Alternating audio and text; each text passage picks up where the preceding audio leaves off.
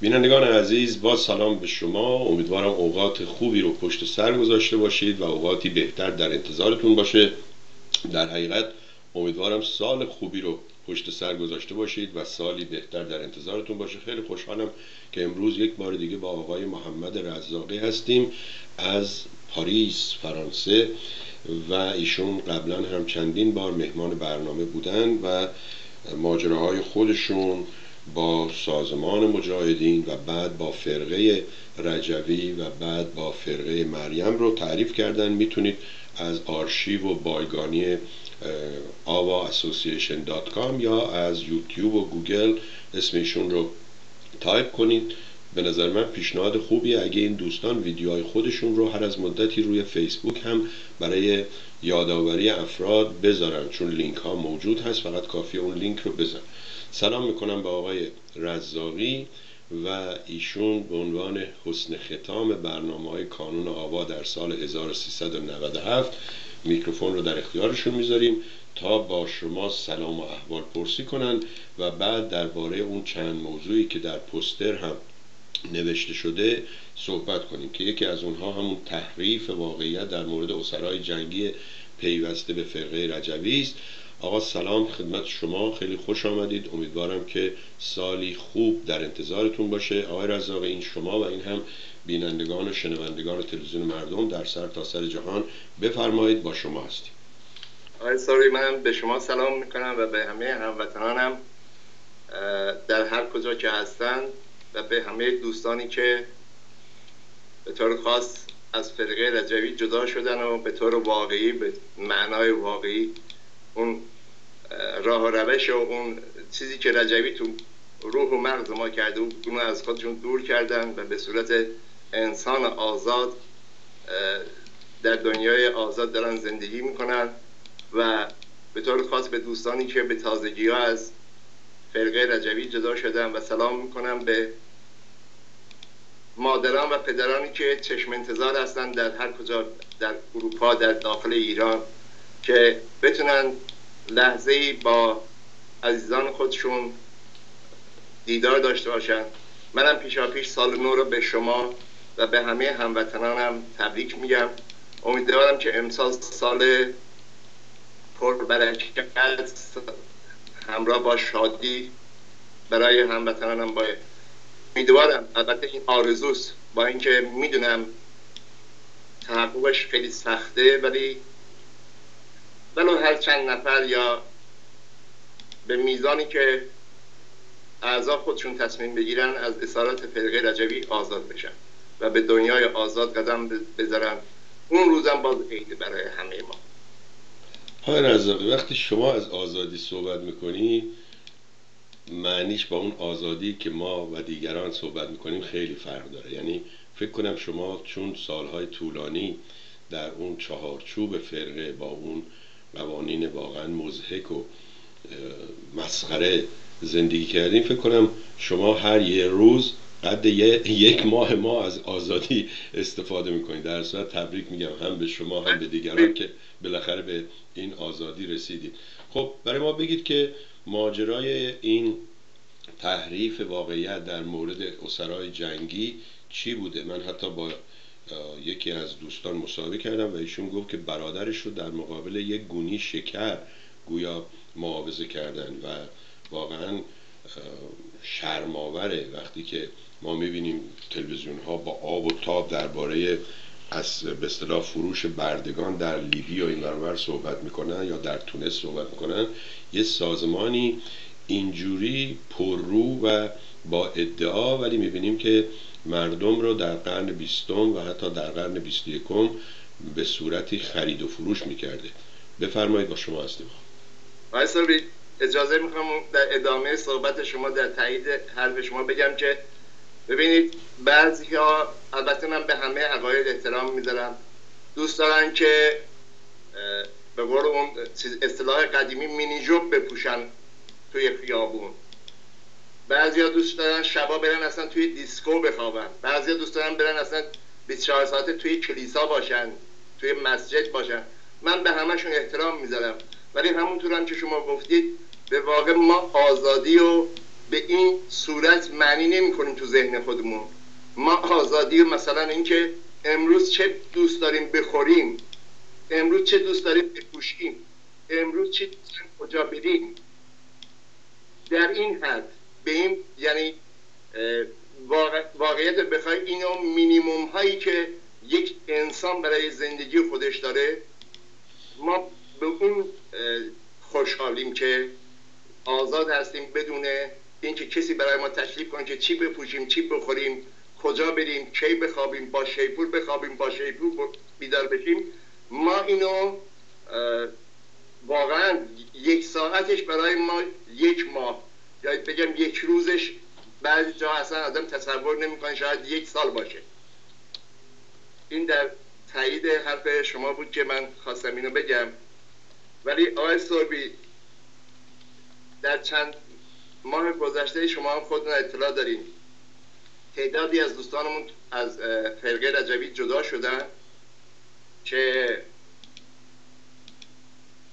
عده از اینها پیوستی از اردوگاه های جنگی به حساب جنگی در عراق بودن. البته اینا خودشون بهتر از من اومدن اون سرگذشت خودشون اون بلاهایی که یا اون تصمیمایی که گرفتن رو بیان کردن. ولی یک چیزی خودم دیدم که و اینو خواستم بگم که جا افتاده بود. مریم قجر وارونگویی مریم قجره تحریف واقعیته.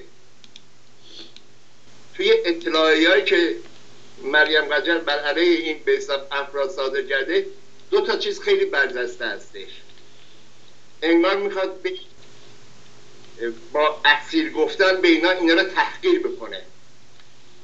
در صورتی که آقای سربش هم بهتر می‌تونیم هر کجای دنیا اگر کشوری در حال جنگ کشته یا شهید داشته باشه به اصطلاح.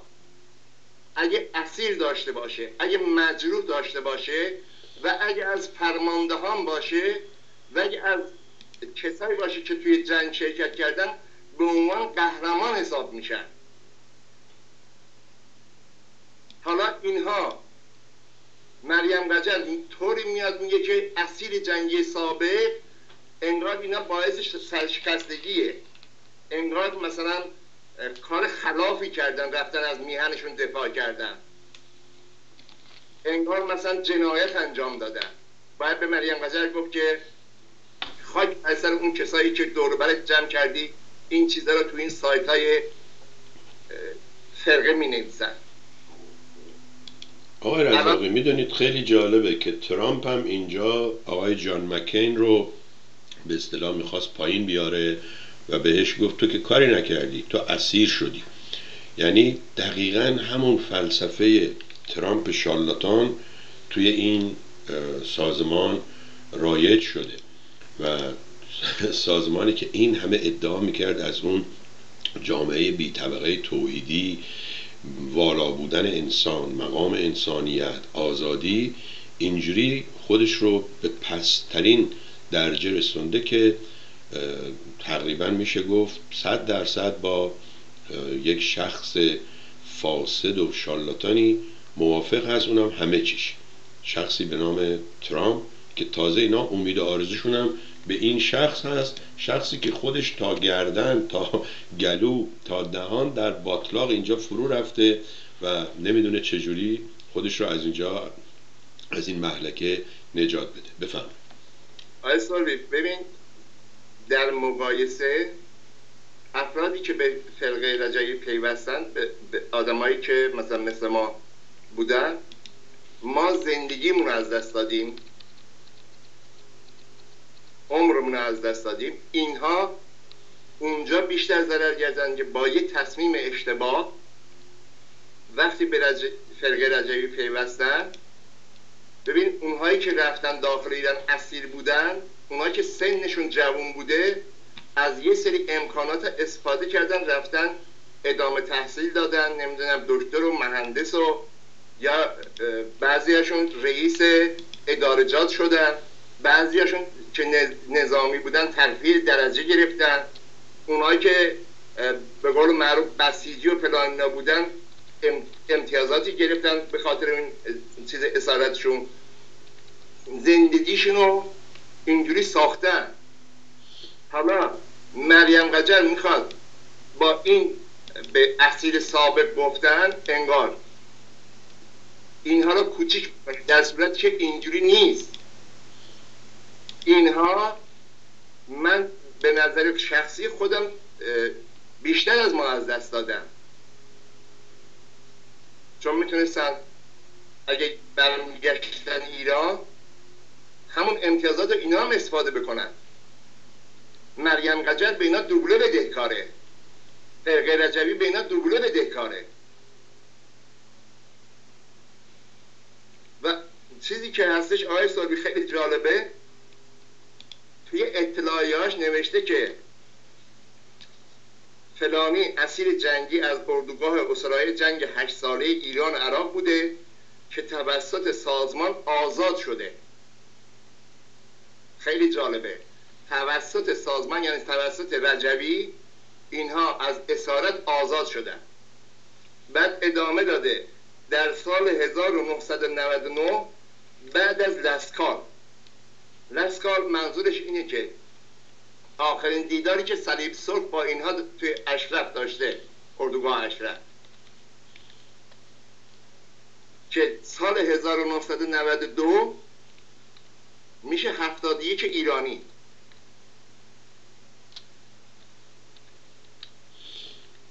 خب اینها, اینها را سال 68 از اردوگاه آوردن.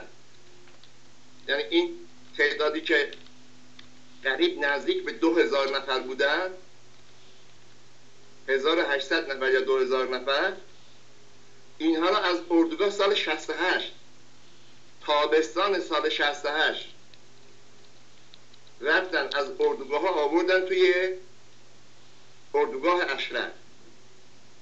68 تا 71 چهار سال. این چهار سال نه از کجا بودن؟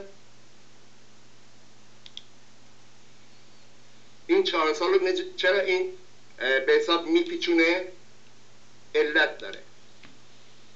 چون اون زمان جنگ ایران عراق تکلیف تعیین تکلیف نشده بود. اسرا آزاد نشده بودند. تبادل اسرا صورت نگرفته بود. اینها به عنوان اسیر جنگی بودند. اسیر جنگی هم هیچ کس حق نداره به عنوان برده بفروشه. ولی صدام این کار کرد. هدیه داد به رجبی. اسرای جنگی هدیه صدام به رجبی بود. با ساخت پاست کی صلیب صبح اینجا رو میپیچنه چون می‌دونه که نقطه اساسی اینجا هستش. اگه اینها تصمیم داشتن به سازمان مجاهدین به فرقه رجبی بپیوندن اینا باید سب می‌کردن. موقع تبادل اسرا شروع می‌شد. بعد از اینکه اسرا رفتن و اینها اظهار می‌کردن که ما نمی‌خوایم بریم صلیب از اینها به حساب اون اتوریته رو برمیداشت به عنوان افراد آزاد می اومدن تصمیم می‌گرفتن که چیکار بکنن. این پروژه بین صدام و رجوی و صلیب صبح به حساب تکمیل شد. پیشبرنده پروژه هم مهدی ابریشمسی شوهر سابق مریم قجر بوده. البته من بارها رو تو اشرف هم با بعضی بچه ها صحبت می‌کردیم به صورت مخفی. چرا؟ مثلا رژیم ایران اون موقع نرفت سراغ محاکم بین المللی از عراق شکایت بکنه که افغان منو تحویل یه فرقه سازمان دادی به نظر می‌رسید که حالا این نتیجه خود ما بود به صورت محفلی صحبت می‌کردیم. عراق گفته که ایران گفته که حالا تفکرات اون موقع سال 68 69 گفته که خب اینا که مخالف ما بودن. اگه مخالف نبودن که نمی‌رفتن پیش فرقه رجوی. پس چه بهتر که تصویه بشن. اصلا و یا اگر این پتانسیل رو داشتن که بیان در داخل ایران هم مخالف باشن پس چه بهتر؟ مخالف بیرون؟ بهتر از اینکه بیاد داخل ایران حضور داشته باشه. با این استدلال شاید دنبال پیگیری بین المللی نشدن. خانواده ها پیگیری کردن. ولی اینها به صورت یه حکومت که دنبال اتباعش باشه دنبال اون افرادی باشه که صدام هدیه رجبی داد تو منطقه اون موقع این میگنجه حالا مریم قجر میاد انگار مثلا یه چیز جدیدی کشف کرده انگار مثلا یه مجرمی پیدا کرده یا یک کاری کردن اینها که باعث سرشکستگیشون هستش. طور میگه اسیر جنگی اسیر جنگی. شما تو هر مملکتی برین. الان بعضی وقت من از این تلویزیون های ترکیه ایران نگاه می‌کنم. آقای سوربی پیرمرد نمی‌دونم چند چند ساله هشتاد 90 ساله هستش. در جنگ مثلا جهانی دوم نمی‌دونم توی از ترکیه یا از حضور انگلیس ها دفاع کرده. نبی فلان شخص بوده. هنوزم به هنوز به اون افتخار می‌کنن. اینجا چیزی نداره که فرقه رجبی همچین میگه اسیر جنگی اسیر جنگی انگار مثلا خیلی معذرت می‌خوام. یه چیز بیهوده ای بود اسیر جنگی. این اومده اینا مثلا به حساب ساخته.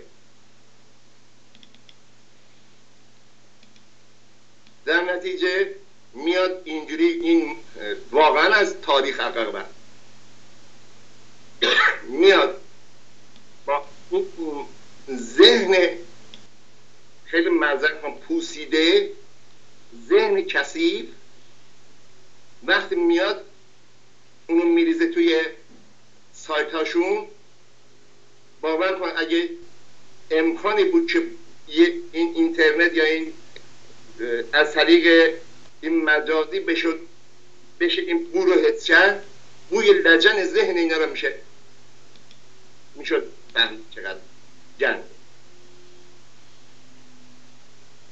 ولی آقای سوربی باور کن من خود این چیزی که شما گفتید که طرف آوردن به گونی شکر. الان یکی از دو, دو, دو, دو نفر من مستقیما باشون صحبت کردم. اونجا هستن چون نمی‌خوام اسمشون رو بگم برن یه رو بگیرن از اسرای جنگی بودن. یه ماشین تا بغداد از دیاله تا بغداد بعضی وقتا به عنوان نفر همراه.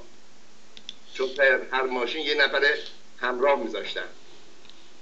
پیش من بودن از این آدما من باشون صحبت کردم. به صورت مستقیم. یه مسئله گفت که اصلا دود از کله من بلند شد. برای من شاید سه چهار بار این موضوع رو صحبت کرد. من بار اول دوم تو شک بودم که این درست میگه یا نه.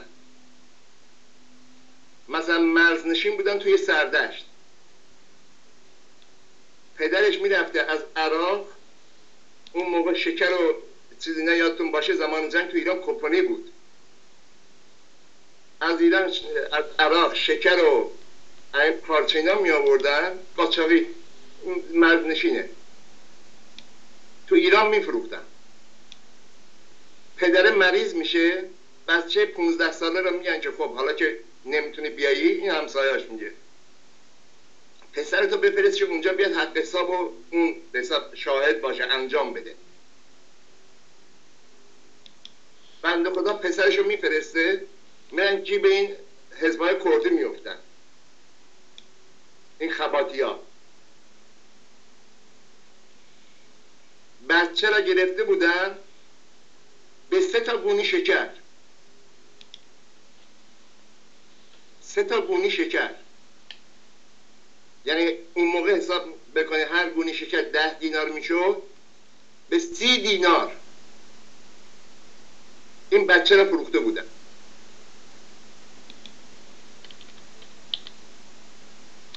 بعد می‌گفت اونا که به حساب بزرگسال بودن جوون بودن اونا را پنجاه دینار. قسم می‌خورد که توی مرز این سرباز اینا که کشته می‌شدن بعضی وقتا یا روی مین می‌رفتن جنازه هاشون روی تو این کوه اینا میموند. اینا یه جنازه رو کول نمی‌کردن ببرن تحویل عراقی ها بدن. گوش اینا رو میبریدن؟ میبردن میفروختن به سربازای عراقی که ما مثلا فلانی کشتیم یه جنازهشو نیاوردیم یه پاسدار کشتیم یا یه سرباز کشتیم. بعد اینو گرفته بودن برده بودن اینا رو تحویل عراقی داده بودن. عراق هم به عنوان اسرای جنگی. فرستاده بود اردوگاه.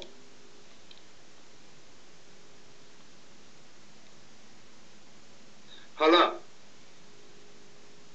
این افراد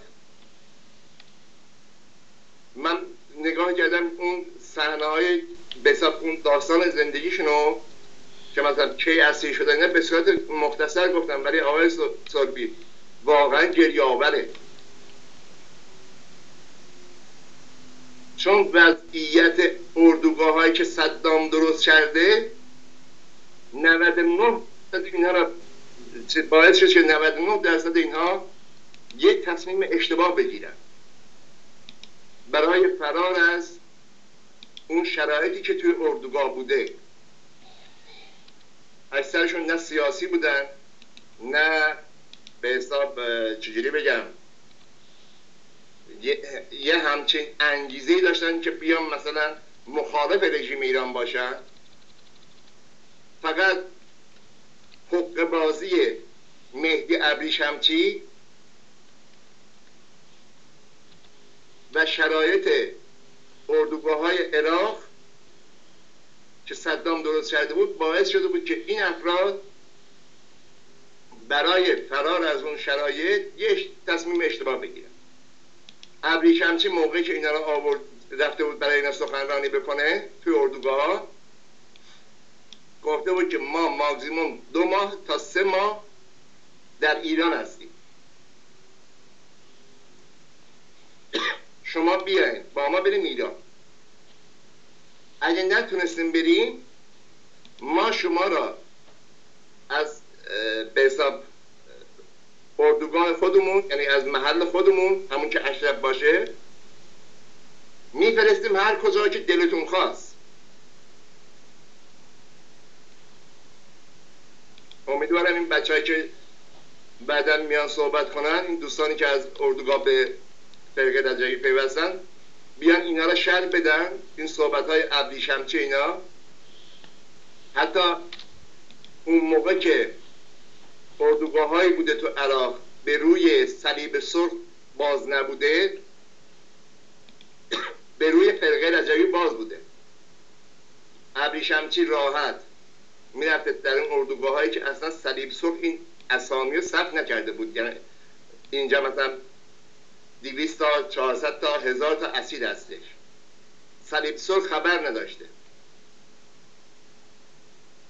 ولی چون هدیه صدام به رجوی بوده نیاز به نیرو داشته نیروگیری در اردوگاه های به حساب پنهانش هم به روی فرقه رجوی باز کرده بود. اگه صدام رجوی و که این, این موضوعات با هم یه تبادل کرده بودن بذاریم یه سمت.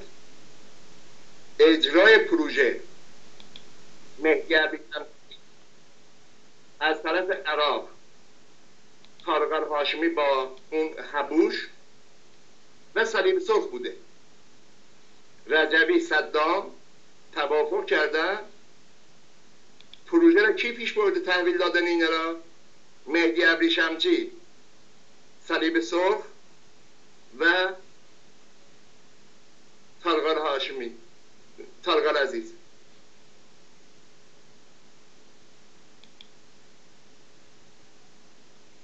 این واقعیتیه که رجبی فکر می‌کنه که با دسته کورا طرفه. همینجوری بیاد هرچی دلش خواست بنویسه اونجا بذاره توی سایتش. هیچ کس هم که چون ملت که نمی‌دونن اینو واقعیت نمی‌دونن. خبر ندارم چون می‌دونی که اگه بگی که من نرا سال 68 آوردم. اون موقع خواهم گفت آقا سال 68 که اینا اسیر بودن. تو اسیره را چجوری از صدام گرفتی؟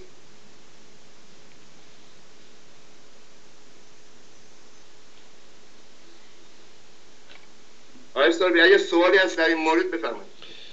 یکی از دوستان بیننده این برنامه که بانوی هستن و نخواستم اسمشون رو ما بگیم با انگلیسی برای من نوشته بودن نوشته بودن چون فارسیشون خوب نیست و اینها گفته بودن که آیا این جدا شدگان فامیل هاشون در اروپا هستن یا نه؟ من حقیقتش متوجه نشدم که خب بالاخره هر کسی مخصوصا این روزا توی همه جای دنیا ایرانی ها هستن و فامیلی داره و این دوستمون به اصطلاح شکار داره به فامیلای این جدا شده ها در صورت من اون رو برای کانون آوا فرستادم و امیدوارم کانون آوا با ایشون تماس بگیره و براشون هم نوشتم که بهتر خودشون با دوستان مستقیما تماس بگیرن. چون همه شرایط عمومی نیست. مثلا ممکنه شما هیچ فامیلی توی اروپا نداشته باشید یه دوستی مثل آقای حسین نژاد همه فامیلش توی اروپا باشه چون ایشون اصلا از اروپا رفته عراق. در صورت این سوال بود ولی نمی‌دونم شما پاسخی دارید برش یا نه. من اینطوری می‌تونم بگم که بعضی هستن که البته تعدادشون خیلی کمه. یه عده فامیل توی اروپا دارن توی اروپا آمریکا کانادا. ولی اکثر جدا شده ها چه اونا که برگشتن به ایران و چه اونا که توی خارج هستن فکر می‌کنم که تعداد خانواده ها خیلی زیاد نباشه. ولی هستن. کسایی هستن که خانواده خانواده فامیل و حتی اینجوری بگم اومدن از جدا شده که اینجا ازدواج کردن توی اروپا ازدواج کردن. حتی تو آلبانی هم داریم. الان از جدا شده که تو آلبانی چند نفر ازدواج کردن. بسیار عالی. خب دومین موضوعی که قرار بوده شما راجبش صحبت کنید واکنش فرقه رجوی به گزارش اخیر مجله اشپیگل هست که قبلا هم دوستان در این مورد صحبت کردند ولی به نظر میاد که سازمان مجاهدین خیلی براشفته شده و این مسئله رو نمی‌ذاره بره و به دست فراموشی سپرده بشه و خودش بیشتر داره این مسئله رو هی عنوان می‌کنه. نظر شما در این مورد چیه و به نظر شما چرا اینها چنین واکنش بزرگی نشون میدن آقای صبحی این یه واقعیتیه.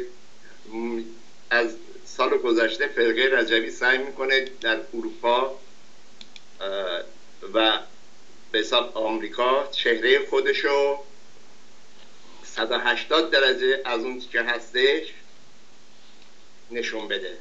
یعنی ماهیت و حتی گذشته خودشو سعی می‌کنه از صفحه مجازی که هیچی از کتاب ها که هیچی از خاطره ها به حساب پاک کنه.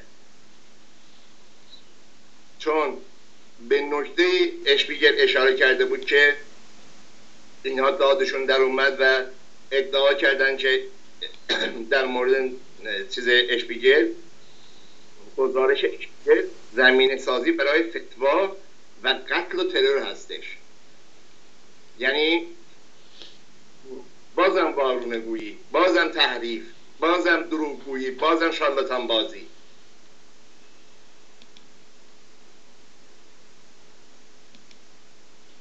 آقای سوربی این چیزی که اشپیگل الان گفته ناقص هم هستش که البته من توی مطلبی با اشاره کرد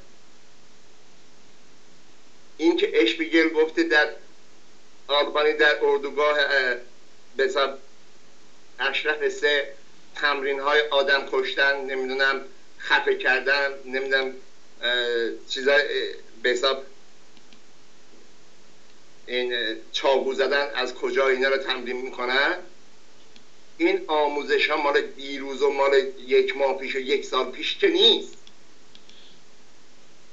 این آموزش ها از زمان صدام به طور خاص از سال هفتاد یک این به حساب توی اردوگاه اشرف با انتخاب فرماندهان و نیروهایی که تخصصی مثلا نیروهای تخصصی به این چیز نمیفرستادن. به حساب اون فرماندهان رو اول فرستادن فرمانده های گروه های رزمی شد. یگان های به حساب یگان که میگیم مثلا دوازده نفر می‌شد یه یگان ولی باز فرمانده اون از هر به مقر چند نفر رو برای آموزش که اصلاحا اون موقع بهش می‌گفتن آموزش تکاوری. که اینها زیر نظر گارد جمهوری عراق گارد جمهوری عراق آقای سربی یه تیپی داشت به اسم قوات الخاص الجمهوری. حرس الجمهوری یعنی نیروهای ویژه ریاست جمهوری. یه چیزی تقریبا مثل گارد شاهنشاهی ایران. بله ببین اون این که میگم گارد جمهوری بله اون کلیتش درسته ولی داخل اون گارد یه تیپی هم مخصوص بود. که اینها مربی های اونها می اومدن در اردوگاه اشرف و در اطراف اردوگاه اشرف که بعضی جاها تپهی بود بعضی جاها دشتی بود. آموزش های می‌دادند به عنوان آموزش های تکاوری که سال 72 با شروع سال 72 میگن وقت به وقتش می‌کشه. از چند روز مونده بود به عید ما یه سری رو با تریلینا این به حساب ماشینایی که برای مرز استفاده می‌کردن اون موقع ماشینای به حساب رنگ سفید بود در مرز. هم نیروهای عراقی که استفاده می‌کردن ماشیناشون رنگ سفید داشت که علامتی باشه برای هر نیروهای ایرانی و نیروهای به حساب عراقی که حالا گشت مرزی مال پاسگاه فلان اینا هستش. که من خودم دو تا تویوتا رنگ شده به رنگ سفید بردم کوت. با دو تا ماشین بودیم. دو تا تریلی. چهار تا بردیم. سال هفتاد دو به حساب عملیات تکاوری رو شروع کردم. بعد از پایان آموزش های تکاوری. عملیات تکاوری چی بود؟ بمبگذاری در خط لوله های نفتی حمله به پاسگاه حمله به سربازانی که به صورت جشن یا به صورت کمین توی پاسگاه مرزی و اون خط مرزی نگهبانی می‌دادن.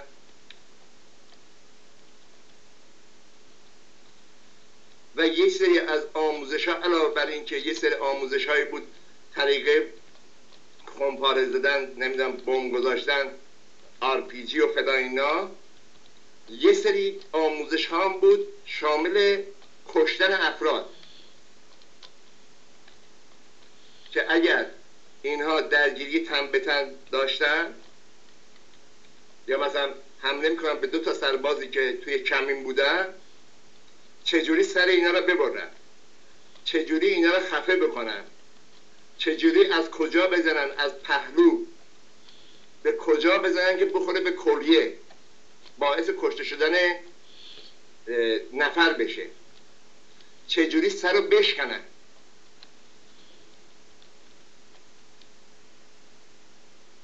اینها رو آموزش می‌دادن که یک سری عملیات ها اون موقع شد.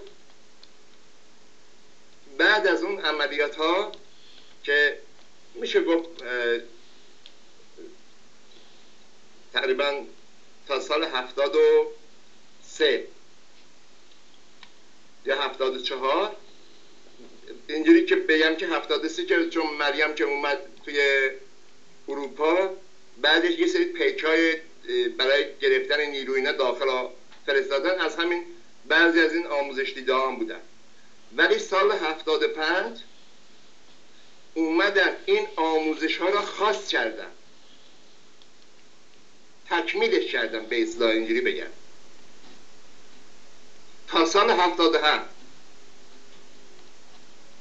که اون موقع فدایان صدام هم به حساب از فدایان صدام تشکیل شده بود اون اواقع پیوستن به اینایی که آموزش به چیز می‌دادن تکاوری می‌دادن. آقای سربی اگه اون عکس نشون بدیم من عکس مریم گجر رو براتون فرستاده بودم با یه نفر که جلو ایستاده. بله بله. ایشون که کنار مریم قجر ایستاده عکسش در اوورسوازه. یعنی در جلسه ای که مریم قجر تو اوورسواز گذاشته اونجا حضور داره به اسم مهران کاکاور این شخص از جمله کسایی است که از سال 71 این آموزش را دیده. به عنوان فرمانده تیم های عملیاتی هم تشریف داشته در عراق.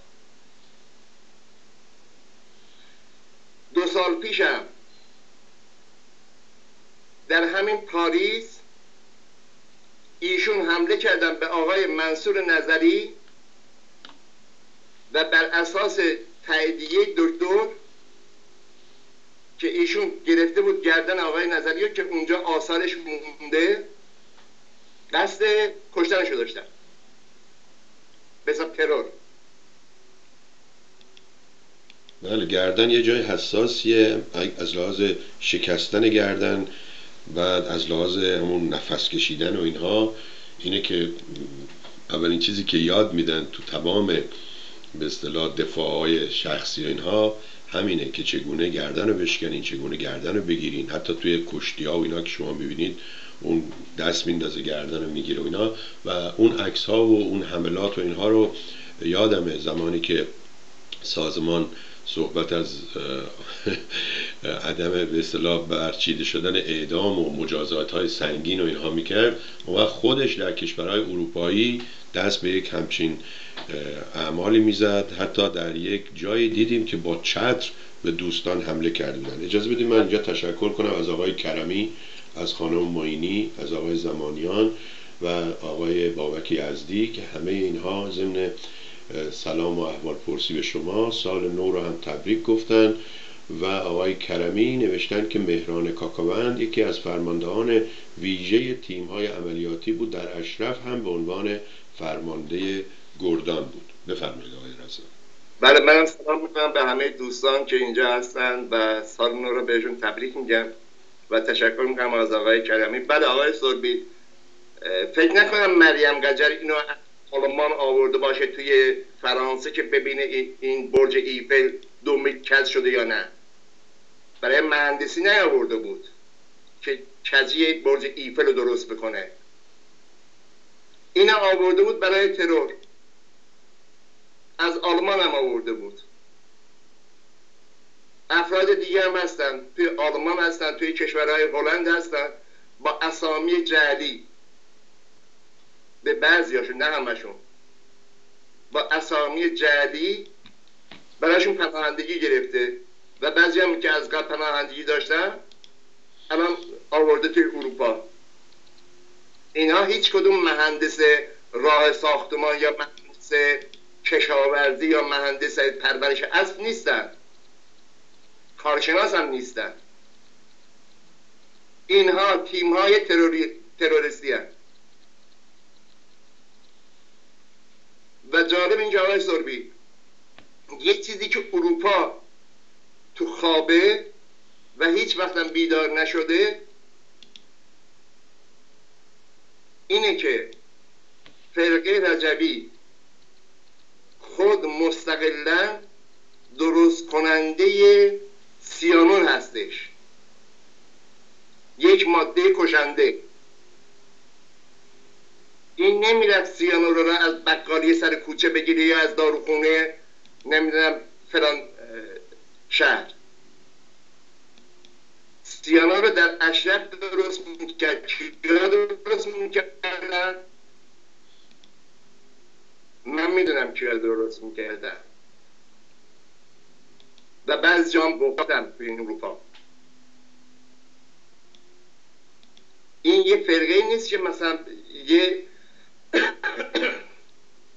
سازمان گروه عادی نیست که با ساده ترین وسایل می‌تونن بم درست کنن. آموزش دیدن. اینها می‌تونن اون موقع که مریم قجر گرفته بودم مژگان پارسایی جلو سالن غذاخوری ما پنج نفر جمع شده بودیم. مستقیما همجوری گفت. یکی از بچه ها پرسید که نتیجه چه میشه؟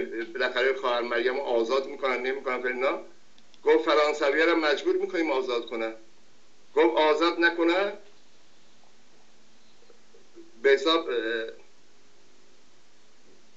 شبکه آبیش آبشون رو مسموم می‌کنیم همه رو به درک واصل می‌کنیم. آقای رزاقی آقای خورسندی از کانادا نوشتن که این سیانور برای خودکشی دست جمعی به دردشون می‌خوره. آقای زمانیان هم از ایران نوشتن که اینها اولین گروه انتحاری هستند در جهان. اینها معلم دا داعش بودند یا هستند. آقای موسقی هم سلام می‌کنن. منم به ایشون سلام می‌کنم و برای تمام دوستان سال خوبی آرزو می‌کنم. بفرمایید. البته این دوستمون گفته که برای کشتار جمعی راست میگه. برای دو چیز برای قلب اینا ضرر داره. یک گلوله یکی سیانو. برای سلام فرگه هر کجا که یه ترقی در نشده اینا باید فرار کنن. از سال 60 حساب کنید که رجبی چجوری از ایران فرار کرد تا اون آخرین بمبارانی که ما, ما را زیرش گذاشتن فرار کردن؟ مثل اینکه دکترای نمی‌دونم دکتر ترامپ بوده دکتر نتانیاهو بوده چه بوده بینا گفته که گلوله برای قلب شما ضرر داره یا ترکش برای بدن شما ضرر داره. اینا همیشه در حال فراره. ببخشید. اجازه بدید از آقای مصطفی محمدی هم تشکر کنم که ایشون واقعا یه نقش بزرگی در معرفی کردن چهره واقعی سازمان اجرا کرد که ممکنه ما هنوز به بزرگی این پی نبرده باشیم. امروز نوشتن که آقای رزاقی الان مجید رجبی یکی از جدا شده های فرقه تروریستی رجبی جدا شده و الان در آلبانی به عنوان اعتراض به کمیسیار کمیساری اعتصاب غذا به مدت 19 روز هستش. چرا سازمان های حقوق بشری و صلیب سرخ کاری نمی کنند اجازه بدید من یه چیزی بگم. من بارها از آقای رزاقی شنیدم که اینهایی که برای یک کبوتر که ماشین زده بهش میفته تو جاده یک گربه که تو سوراخ آب میفته اینقدر تمام سازمان های حقوق بشر مخصوصا ایرانیا داد و بیداد می‌کنن چجوری وقتی به این فرقه می‌رسن ساکت میشن؟ البته از لابلای صحبت های شما من متوجه شدم که این افراد از تهدیدها و به اصطلاح تهمت هایی که سازمان در سالهای گذشته زده چنان ترسیده شدن که حاضر نیستن یک کلمه در این مورد صحبت کنند ضمن آقای بابک یزدی که هم فعال هستن هم محقق و نویسنده کتابی هم دارن در این مورد. ایشون نوشته این فقه رجوی در آینده ایران جایی ندارد ولی می‌تواند موی دماغ هر حکومت مردمی در آینده باشد. بفرمایید. آقای این موضوع اونقدر چیز شده رجبی از افشای این موضوع به حساب اشپیگل سوخته حتی به صورت غیر مستقیم. با بعضی از جدا شده هایی که هنوز خصلت رجبی رو در خودشون دارن تماس داره. البته میگم غیر مستقیم نه که مثلا ابریشنچه بلنشه با این جدا شده صحبت بکنه. ولی از کانال با همدیگه ارتباط دارن. یه چند یه توابی هستش. دو سه نفرم دور خودش جمع کردی کاچاخچی و نمی‌دونم از این آدمایی که مورد اخلاقی داشتن رژیم فرستاده داخل فرقه رجبی فلان اینا. یا اون قاچاقچی که حتی نفر خواهرش با دامادشون نفر 500 دلار میفروختن از کرمانشاه به فرقه رجبی. لازم باشه همه اینا سند هستش توی دادگاه با شاهداش میارم نشون بدن یا توابی که خودش رجبی به قیمت بوز الان البته گوش گرون شده. بگیم به قیمت بوز قیمت رجبی میره بالا. قیمت بوز بگیم قیمت رجبی میره بالا. حالا نمی‌دونم به قیمت مرغ بگیم چی بگیم؟ این مثلا شسته میشه میره. فروخته اون موقع که رژیم ایران بچه 14 15 ساله رو گرفته به جرم داشتن یه اعلامیه یا هواداری از مجاهدین یا فلان سازمان اعدام کرده آقا را پنج مهر روز تظاهرات مسلحانه از خانه تیمی گرفته سال هفتادم سر مرگ... 68 هم سر مرگونده آزاد کرده. اصلا باور کنید که این رژیم انقدر درهمه که طرف در خونه تیمی گرفته از عضو مجاهدین بوده روز تظاهرات مسلحانه هم بوده در خانه تیمی تشکیل آدم تشکیلاتی هم بوده به این گفته که تو بدون اینکه برای ما کاری بکنی برای ما به حساب خدمتی بکنی بفرما شما آزادی. این گفت منم باور کردم. و بقیه اونایی که توی نشست موسوم به حوزی که رجبی پته اینا را حمید برهون همه را ریخ بیرون منم باور کردم. رجوی چنان سوخته از افشاگری جدا شده در آلبانی که مجبور شده مجبور شده بیاد تواب به کار بگیره که این مسئله را ماسمالی بکنه. الان گفتین آقای چیز از ایران تماس گفته که این چه پدر داعشه؟ آقای زمانی آقای زمانی بله دوست عزیزمون.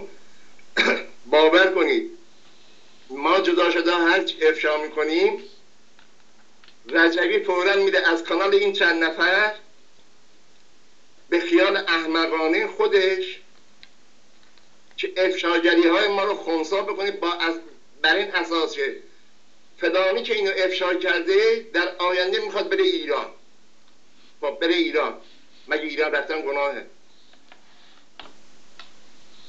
مگه هشتاد میلیون ایرانی در ایران زندگی می‌کنن مگه گناه می‌کنن؟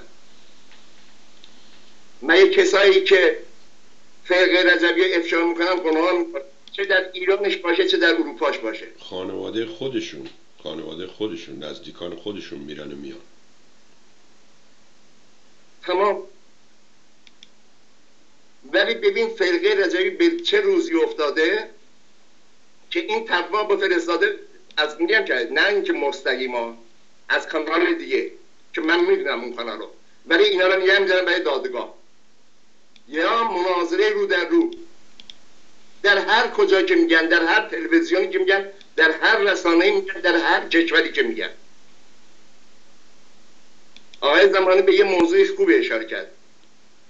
اولین عملیات انتحاری پایگذارش در خاور میانه فرقه رجویه در چند سال گذشته داعش اینو تکمیلش کرد. فرقه رجوی با نارنجک, نارنجک انجام می‌داد. چند تا امام جمعه و نمی‌دونم فلان کسا را توی ایران با عملیات انتحاری کشتن.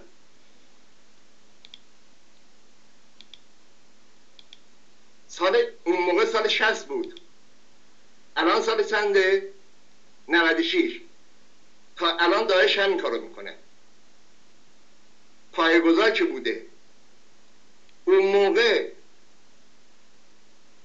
پوست رجبی فرقه رجبی حسین عبی شمسی که مرگون شد توی تهران توی خانه تیمی آدم ها رو می‌گرفتن نمی‌دونم به اسم پاسدار رو نمی‌دونم همکاری با رژیم میکشتن بعد میبردن تو بیابونا میسوزوندن.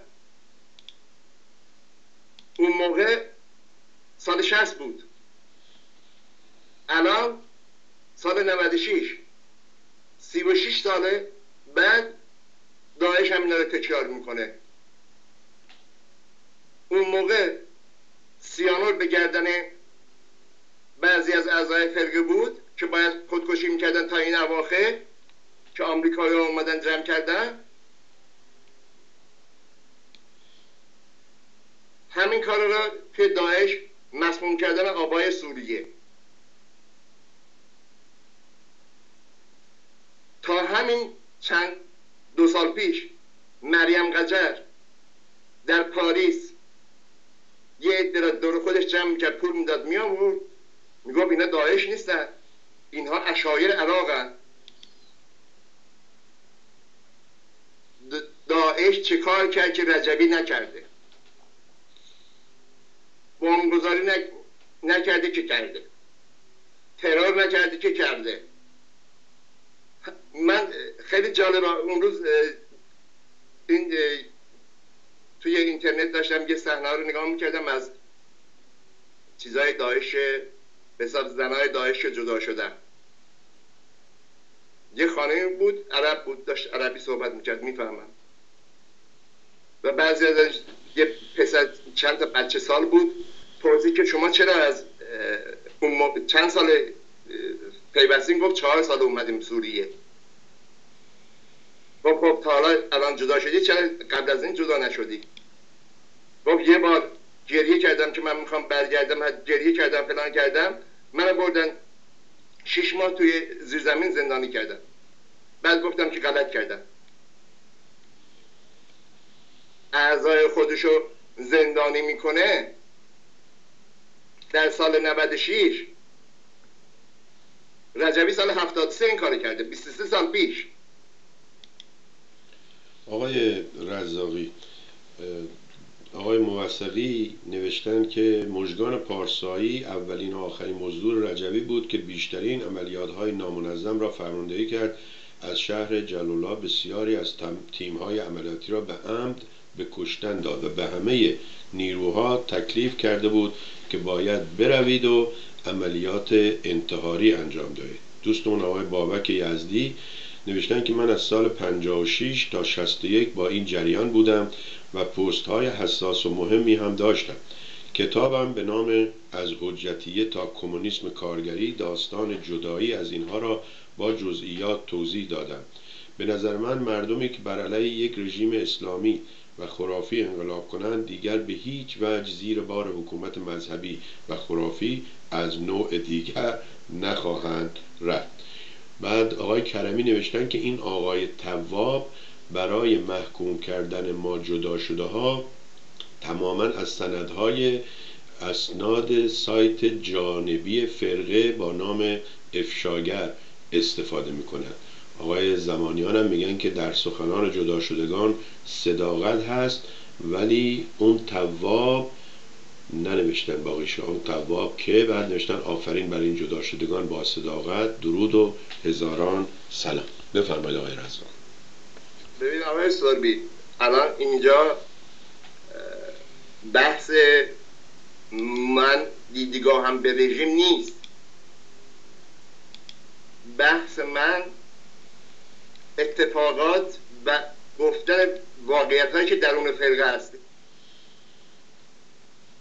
اون که انتخاب می‌کنه میره ایران زندگی بکنه حقشه. اون که انتخاب می‌کنه آقای سربی یه چیزی بگم شاید باور نکنید و شاید بینانده هاتون باور کنن یا نکنن. آقای کرمی هم با هم بودیم. دو سال توی این اروپا توی ساختمون های خراب. تو ساختمون که کار می‌کردم خوابیدم. زیر سرم کارتون انداختم. من این بلاها را به جونم خریدم و چهار سال در چادر گرمای 60 65 درجه تیپ تو عراق. با توهین و تحقیری که آمریکایی اون بلاهایی که سرمون آوردن. اونا رو تحمل کردم خب نرفتم میرم کسایی بودن. ادعاشون سر به طبقه آسمون می‌زد. توی مجاهدی موقعی که فرقه رجبی بودن. فرمانده بودن. عملیات کرده بودن. چریک بودن. تکاور بودن. اومدن توی تیب باور کنید آقای سربی یک ماه نتونستن تحمل کنن. شرایط تیپو. ببین کسی که توی کوه می‌رفت عملیات می‌کرد. عملیات می‌کرد فکر نکنین که مثلا می‌رفت توی گلخونه مشغول آب دادن گلها و چیدن گلها و نمی‌دونم بور کردن گلها بوده. هم لحظه امکان داشت تیر بخوره هم لحظه امکان داشت ترکش بخوره هر لحظه امکان داشت دستگیر بشه. هر لحظه امکان داشت بره روی مین نه هر لحظه امکان داشت تو اون کوه یه مار اینو بزنه بمیره. یه عقربی از گردنش بزنه بمیره. ببین اون شرایط سخت و کسایی که تحمل کرده بودن یک ماه تیپ به ولای علی به هر چی باور کنید شرایط تیپ و یک ماه نتونستن تحمل کنن. آقای رزاقی برای اونایی که ممکنه ندونن تیف چی هست بگید که این بازداشتگاه بوده. چون وقتی شما میگید بعضی ها ممکنه به عنوان تیپ یعنی تیپ ارتش فکر کنه تیف چی هست؟ زندانی که ساخته به حساب جنایتکاران آمریکایی با رجبی. چون با مشارکت هم اونجا ساخته بودن. یه زندانی درست کرده بودن. به نام تیف که چهار سال ما را تا سال اینجوری بگم هشتاد و شیش به صورت مخفی اونجا نگه داشتن. تا سال هشتاد شیش هیچ کسی خبر نداشت که یه زندان مخفی هست که نزدیک 700 نفر از جدا شده تو اونجا زندان هستن. که خود این برخلاف قانون به اصطلاح حقوق بشر و اسرا و زندانی های جنگی و ارتش و همین است. دلیلش هم اینه که ارتش آمریکا این بیقانونی ها رو فقط در خارج از آمریکا می‌تونه انجام بده. ببین آقای ساربی چجوری شده بود؟ من دقیقا یادمه سال هشت... اوایل سال 86 بود. یه خبری ما از خود صدای آمریکا شنیدیم. اگه نمی‌دونم اون موقع میشه این فیلم رو پیدا کرد یا نه صلیب سرخ برای اولین بار رفته بود توی گوانتناما از اون زندانیایی که از افغانستان برده بودن. با اونها دیدار داشته. و اونها می‌تونستن نامه تبادل کنن. از طریق سبیل با خان... صلیب سرخ با خانواده هاشون. ما اونو نداشتیم. ما چند نفر بودیم شخصا رفتیم این سرهنگ آمریکایی رو. گفتیم آقا بهتر ما رو هم بفرستی تو اون گوانتنامو. گفت برای چی؟ گفتم باز اونجا صلیب رو می‌بینم ما اینجا صلیب هم نمی‌بینیم. اونجا باز به رسمیت شناخته شده هستش ما اینجا رسمیت نداریم. حداقل یک چیز قانونیه اینجا غیر قانونیه. بریم حداقل توی زندان قانونی. چون اون موقع من دقیقا یادم بعدش هم توی خبرها بود که مثلا خانواده بعضی اینا که توی اروپا بودن نمی‌دونم آمریکا یا کانادا بودن وکیل گرفته بودن. بله تا حالا چندین نفر از مانتانامو به کمک وکلا آمدن حتی ادعای خسارت کردن بر علیه دولت آمریکا. و اقلا اونجا به قول شما قانون داره. یادم با یکی مصاحبه می‌کردم این دوستمون نویسنده بود. و می‌گفت که می‌خواد بره ایران. گفتیم چرا می‌خوای بری ایران؟ گفت آقا من توی آمریکا باید هزار تا بشقاب بشورم تا فقط بتونم زندگی کنم با یک نون بخور و نمیر. اگه ایران برم اقلا در زندان به من قرص قلب و اینا می‌رسید و یعنی مقایسه اینو میگن که گوانتانامو که همه دنیا به وحشت انگیزترین زندان به معروف شده شماها آرزوتون این بوده که اونجا برید. خانم موینی یه چیز جالب نوشتن. نوشتن که رجوی انقدر از ما جدا شده ها و افشاگری های ما ترس داره که به دروغ افراد اسیر فر... به افراد اسیر فرقه می‌گوید که جدا شده ها در آلمان تحت پیگرد قانونی قرار گرفتن. عجبا که ما در آلمان هستیم. پلیس اینجا یا پلیس امنیت همچین چیزی دریافت نکردیم و آزادانه به هر جا که می‌خواهیم می‌رویم و میاییم یادم میاد که به همین دوستان گفته بودن که مخصوصا خانم ها اگر جدا بشن از سازمان هیچ آینده ای بجز تنفروشی یا بجز گدایی در خیابون ها براشون قلم نزد شده نزده شده که می‌بینیم الان این خانم ها خیلی موفق هستن کار می‌کنن فعالیت های اجتماعی دارن فعالیت های سیاسی و حقوق انسانی دارن. من به یکایکشون تبریک میگم و واقعا آدم افتخار می‌کنه که اینها آمدن با شجاعت شهامت و نرفتن دنبال کار زندگی بگن به ما مربوط نیست. من از شما هم ممنونم که حاضر شدید بیاین. بگید چون می‌دونم هر دفعه که میان اینجا مورد آزار و اذیت و حمله هستید.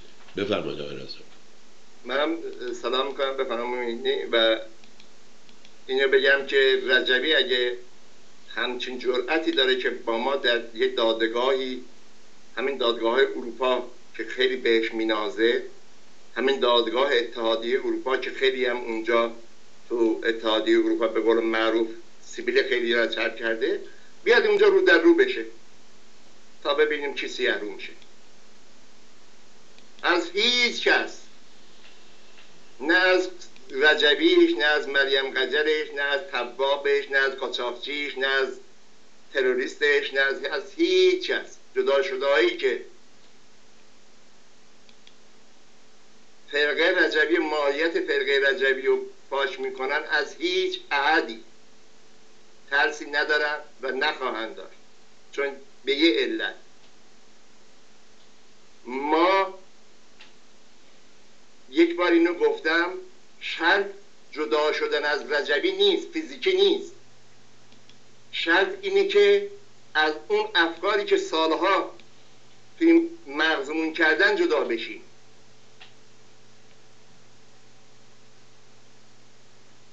مهم اونه. بعد از رجبی جدا شد. خب جدا شد. با همون روش با همون افکار با همون عقیده با همون تیپ با همون بیان با همون شامورت بازی هایی که رجبی داره یکی بیادم بیرون چیز بکنه خیلی مزرز می‌خوام. بمیرم بهش نمیگم جدا شده. میگم رجبی صفت هر چی هم از دستشون میاد بنویسن رجبی مگه کم نوشته. هر چی هم از دهنشون میاد بگن مگه رجبی کم گفته. هر چی هم من دعوت می‌کنم. شما بفرمایید آدرس بدین کدوم رسانه. شما بفرمایید آدرس بدین کدوم مجلس. شما بفرمایید آدرس بدین کدوم شهر. ببینم شما کی هستید ما مشخص کی هستیم؟ و بازم میگم با تمام وجودم.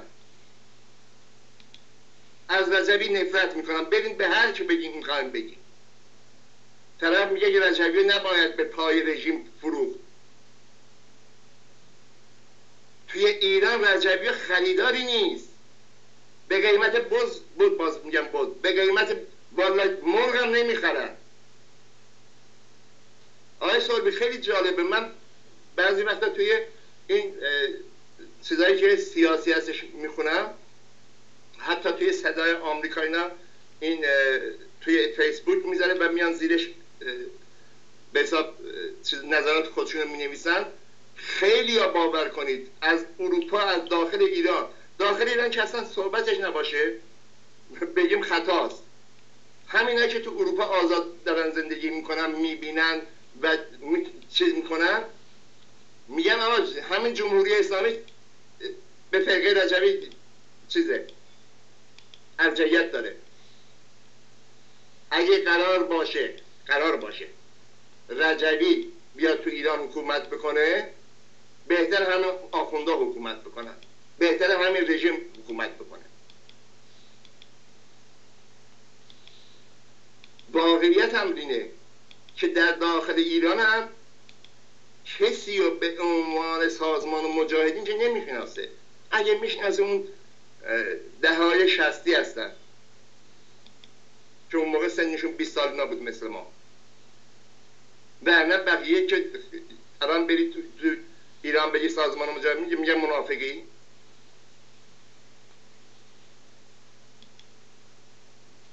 خانواده اعضای خودش این همه به عنوان مجاهد نمی‌شناسه. میگه منافقی. حالا اون ملت ببین چه نفرتی از اینا دارن.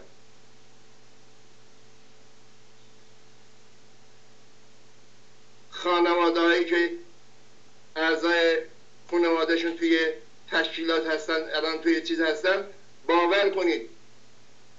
اصلا نفرتی که از رجبی دارن بعضی وقتا به اسم اینا میرن چیز می‌کنن به حساب تماس می‌گیرن که برید نمی‌دونم عکس بذاری فلان. اون روز یکی از دوستان جدا شده از آلبانی بود. فکر کنم اینو توضیح می‌داد. که اومده میگه که مثلا انجام نمیدن خانواده خود اعضا. که به مادرش گفته بودن ببرید عکس بزنید نمی‌دونم تو دیوار حساب فیلمشو بگیریم برای ما بفرستیم این یه واقعیتیه. تو بیا من بیام الان اینجا هارتفورد بکنم که آی اله می‌کنیم کمربندامون محکم ببندیم رژیم سرنگون می‌کنیم. همین ادعاتی که رجبی روی چیز بود روی سن در می آورد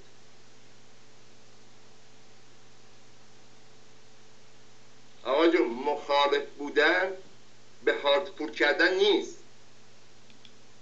اینو باید فهمید. اون بزرگترین مخالفی که هارتفورد می‌کرد 24 ساعته تو این لابی های اسرائیل و نمی‌دونم آمریکایی بود. اختلاسی عذاب در اومد. من روز فکر می‌کردم این آقای مهدی خلیجی رو که می‌گفتن که ایال چهارمش میلیاردها برده یه شهر این می‌خرید؟ ایکاج همه این اپوزیسیون اپوزیسیونی که اینا میگن می‌رفتن هم تو همون یه جزیره یه شهری زندگی برای خودشون زندگی می‌کردن. پول باد آورده اختلاس زحمت نکشیدن که. همین مثل فرقه رجبی. افرادشو جمع کرده دو هزار نفر چپونده توی اردوگاه. این هم یه اردوگاه یک پیدا بشه به اینا بده. شر ملت از اینا کم بشه. شر اینا کم بشه از ملت. واقعا اینا شما حقیقت رو گفتید. بله. واقعا ملت کسی که میاد می نویسه ببین نهر بارون زدن اینه دیگه. توابی که معلوم نیست چند نفر رو رو داده. معلوم نیست چند چقدر همکاری کرده. معلوم نیست چند تا تیر اعدام درست کرده. معلوم نیست چند نفر رو داده. اومده ادعای مبارزه مبارزه مبارزه می‌کنه. ول نخواهیم کرد مبارزه. اصلا آقا تو اصلا بر 24 ساعت مبارزه کن. کسی گفته نکنی؟ این تواب کیه؟ نمی‌خواین اسمشو بگیم بله؟ میگم این تواب کیه؟ نمی‌خواین چون بحث چیزه آیز بله. هر جو که راحتیم به هیچ مشکل نیست. اجازه کنم بله. صاحبش بله. اجازه بدید که آقای محسقی میگه آقای رزاقی سالها دیر و تو زندان ابوغریب بغداد بودن به عنوان امانت های رجوی. نه سالها نیروها تو زندان ابوغریب بودن به عنوان امانت های رجوی و به سایر نیروها می‌گفتن بریده ها رو فرستادیم خارج و ایران.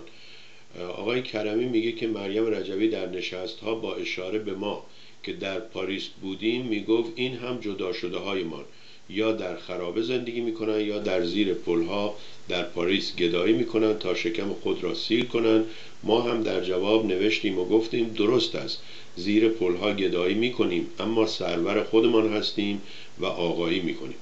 باز آقای محسقی نوشتن که صلیب سرخ در زندان ابو غریب میگو ما برای جدا شده های مجاهدین نمی‌توانیم کاری انجام بدیم. خانم معینی هم به شما اعتراض کردن که چرا قیمت رجبی رو با بز و مرغ مقایسه می‌کنید. به قیمت سیب زمینی هم این رو نمی‌خرن. آقای آقای بذار یه چیزی بگم. این وسط یه خورده بخندیم.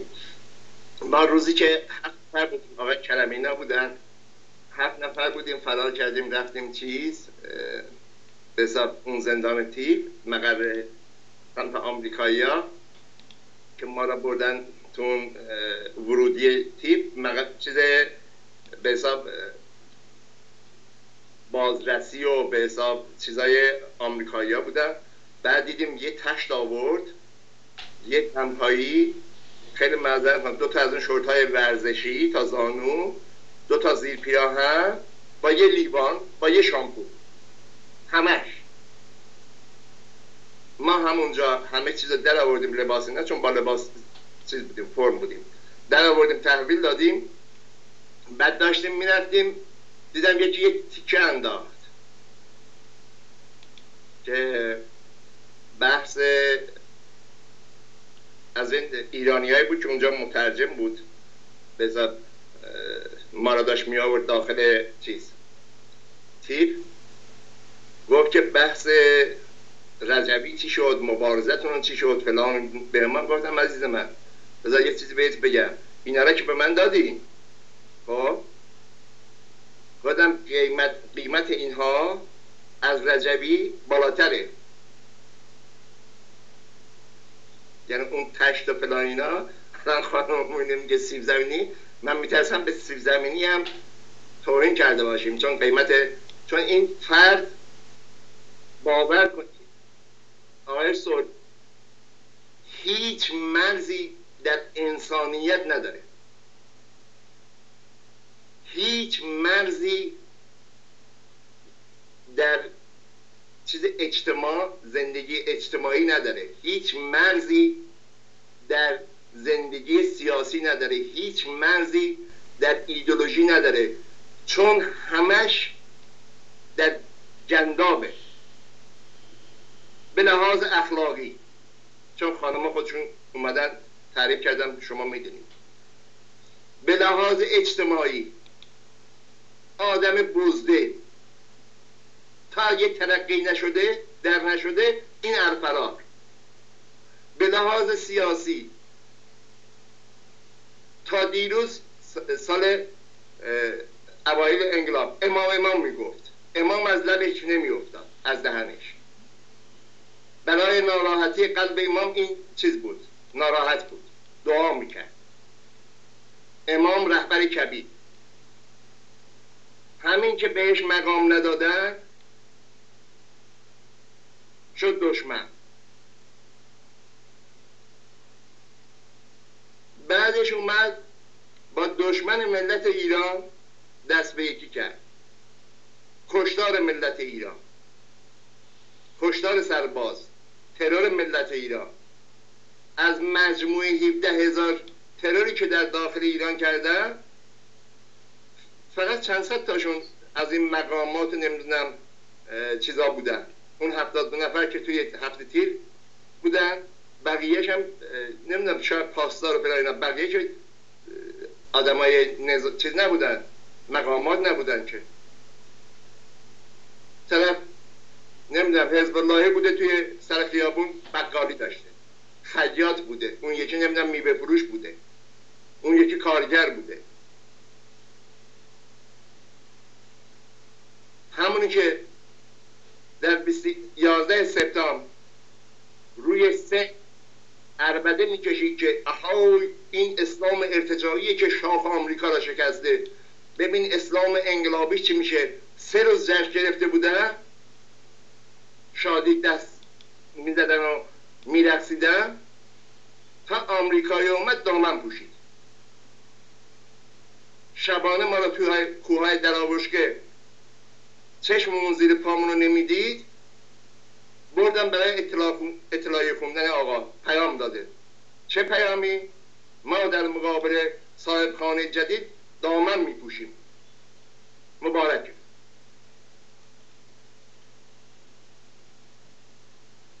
حالا خیلی از افراد یه چند نفری که توی تیپ بودن زندان تیپ بودن. این همینو به خود من گفتن. همشهریمون بود گفتم بابا این هواداری اینا رو فعلا اینجا ول کن برو. از اینجا بیرون بعد برو اصلا تو مقر رجبی 24 ساعته بخواه بعد روزی که رب مصاحبه اومد گفتم چی شد؟ گفت رجبی که دامن پوشیده من شورتم هم خیلی منظر کنم در میارم میرم اروپا پناهندگی ما بگیرم.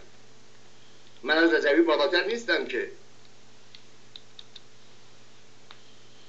به لحاظ ایدولوژیک هم باور کنید در هیچ کجای دنیا در هیچ دین مذهبی در هیچ آینی در هیچ رسم رسوم انسانی این ایدئولوژی وجود نداره. که رجبی درست شد از پیغمبر و مارکس و لنین و نمی‌دونم از روانشناس ها و از جادو جنبرکن ها گرفته یه چیزی درست شده به نام ایدولوژی. که سو استفاده شو بکنه. اون شهوت شو چیز بکنه ارضا بکنه. اون سرکوبشو بکنه. و همچین چیزی نیستش. تو دنیای آزاد. طرف میره کلیسا بعدش نمیره. طرف میره مسجد بعدش نمیره. این دوستمون خیلی خوب گفت از کانادا گفتین که کتاب می نویسه از حجتیه تا چیز رفته. کمونیسم کارگری. آقای بابک یزدی بله. انسان ها تصمیمشون عوض میشه دیدگاهشون عوض میشه میره دنبالش. خب این که چیزی نیسته این میگه نه. اون چیزی که من میگم حتی حضرت محمد اون موقع نگفته. یعنی 1400 سال پیش اشتباه بوده این الان درست کرده. می اومد قرآن اونجایی که دلش می‌خواست سمت سو بده تفسیر می‌کرد. یه خط قرآن می‌خوند. ماشاءالله رود درازی. تریاکو مینداخت بالا. هشت ساعت پشت هم صحبت می‌کرد. یه آنتراک نیم ساعته برای نهار دوباره سخنرانی می‌کرد تا پنج صبح.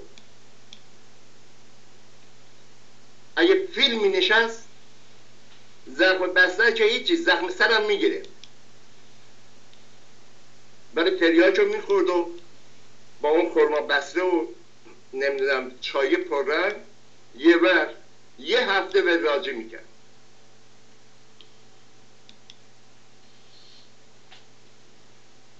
آخه از چیزمون خارج نشیم. بذار من این بحثا بله خیلی ممنون از شما. اون تاپیک یا موضوع سوم ما می‌دونیم که در ایران رسم بود هم برای شرکت ها هم اینجا سازمان ها و فعالان سیاسی بیلان سال رو به اعضای خودشون به مردم به اصطلاح معرفی می‌کنن و میگن که ما امسال یا در سالی که گذشت چه کردیم و جمعبندی می‌کنن و خودشون رو برای سال نو جدید آینده به اصطلاح آماده می‌کنن و برنامه سال آینده هم به اعضا و به مردم میگن. اگر شما لطف کنید جمعبندی کنید وضعیت فرقه رجبی رو در سالی که گذشت و به ما یک بیلان کار یا یک بیلان بیکاری اینها رو بدید ممنون میشم. بفرمایید. آقای من قبل از شروع این موضوع خواستم این از دستم در رفت بگم که گفته های آقای امیر موسقی چه در رابطه با اون که در مورد مورگان پارسایی گفت توی جلولا و چه در مورد اینکه توی زندان بودن کاملا حقیقت داره و ما آقای موسقی خود می‌دونه که سالها توی یک حساب اردوگاه جلولا با هم بودیم. و همه چیزش حقیقته. چیزی برای خیلی هم اینو می‌دونن ولی خب بعضی ها بیان می‌کنن بعضی ها بیان نمی‌کنن. این یه تصمیم افراد هستش. ولی آقای سربی بزرگترین این چیزی که شما گفتین البته من اینه از بابت خودم دارم میگم. من چون نه سخنگوی کسی هستم نه به حساب این اجازه رو دارم که از در رابطه با موضوعی از طرف به حساب انجمنی یا جدا شده ای صحبت کنم. اینا چیزایی که میگم تماما نظرات خودم مسئولیت حرفم با خودم هستش جوابگو خودم هستش. اگه یه جایی مثلا اشتباه میگم دوستانمون روی خط هستن حتما گوشتت می‌کنم و یا میگم بعدم بریم که بیام عذرخواهی بکنم یا بگم آقا این درست بوده یا من اشتباه گفتم. اشتباه لحجه بعض جا لحجم خیلی زیاده. بعضی چیزا اگه تفهیم تفاهم نمیشه شنونده ها با لحجه گوش بدن خواهشان. من چه میگن؟ اینم بگم که من نیومدم تو این یک سال و به قول معروف اینجا از طرف کسی جنبندی بکنم. اینا جنبندی هایی که خودم رسیدم بهش و می‌خوام به صورت مختصر اشاره بکنم. و اگر کمی کسی داشت جدا دوستانمون میبخشن بزرگترین چیزی که تو این سال گذشته داشتیم آقای سربی از پایین شروع کنم از 22 بهمن. رجبی وعده داده بود از گل شما هم حتما اون فیلم را قبلا پخش شدین و یا اون پیام که داده بودن. 22 بهمن قرار رژیم عوض بشه و اینا تو میدون آزادی با دست به دست بولتون رو نمی‌دونم آقای جولیانی و شاید هم اون پشت مشتان نتانیا و اینا بیان جشن بگیرن سرنگونی رژیمو. فعلا که خط نشد. ما هم که ساکامون اینا رو بسته بودیم که برگردیم دیدیم که دوباره وسایلمون رو چیدیم. حتما این خودشون که نمیان جواب بدن که این چی شد 22 بهمن چرا نرفتن. شاید مثل اون جریان حخا باشه. ازش پرسیدن قرار بود شما برین فلان روز توی تهران باشیم گفت چون رژیم سرنگونشون نشده نتونستیم بریم. شاید منظورشون سی و دوم بهمن بوده. شاید. شاید. و خیلی جالبه آقای سربی قبل از اینکه این به حساب 22 بهمن فرا برسه تقریبا دو ماه قبلش مریم قجر پا برهنه بر سرکوبان رفت چیست آلبانی. برای اعضای بدبخت کند پذی که بگه که حالا که به حساب با این به حساب بهانه. چون آقای خامنه ای در یکی از سخنرانیاش گفته که باید هوشیار سال آینده باشید. در 98 ممکن دستیسه ها و چیزها بر علیه چیز باشه رژیم باشه. پس رژیم در سال 98 چیز میشه. به گفته خود آقای خامنه ای بس سال 98 سرنگون میشه. چون خودش هم اشاره کرده که ممکنه دستیسه ها در سال 98 اتفاق بیفته. می‌خواست به زبان بی زبانه بگی که 97 و ولش فعلا بچسبیم به 98 حالا 98 هم که تو اون پیامی هم که رجبی گفته بود اصلا تاریخ نداد بود. گفته بود که دوران. مثلا شما حساب بکنید این دوران گذار از مثلا بردهداری به فودالی. چقدر طول کشید چند سال طول کشید من نمی‌دونم. ولی یه دوری یه دیگه یا مثلا از فودالی به این بورژوازی و فلان اینا اینا یه خودشون یه دوره ای ممکنه 100 سال ممکنه 10 سال ممکنه 20 سال طول بکشه. اینم رجوی هم از اون دنیا خبر داده بود که این یه دوری هستش دوران سرنگونی که استارت کرده قبلی ها کش بوده. چون خیلی از اینا می‌گفت. می‌گفت که هرچه در سال گذشته من گفتم یا بهنام نشون می‌داد اون محدثین محدثین گفته کش گفته کش گفتیم کش گفتن بچسبیم از نو. و آخرم مسئله رو می‌گفت که چون واقعا وراج استاد وراجی. اگر اینو حقا حق می‌کنه یعنی اگه بگن که شما یه مدالی باشه بندازین گردن یه وراج من میگم رجبی حقشه. من حق ناحق نمی‌کنم میگم حقشه. چون استاد وراج می‌گفت می‌گفت می‌گفت آخرش هم می‌گفت من چه نمی‌دونم چی میشه.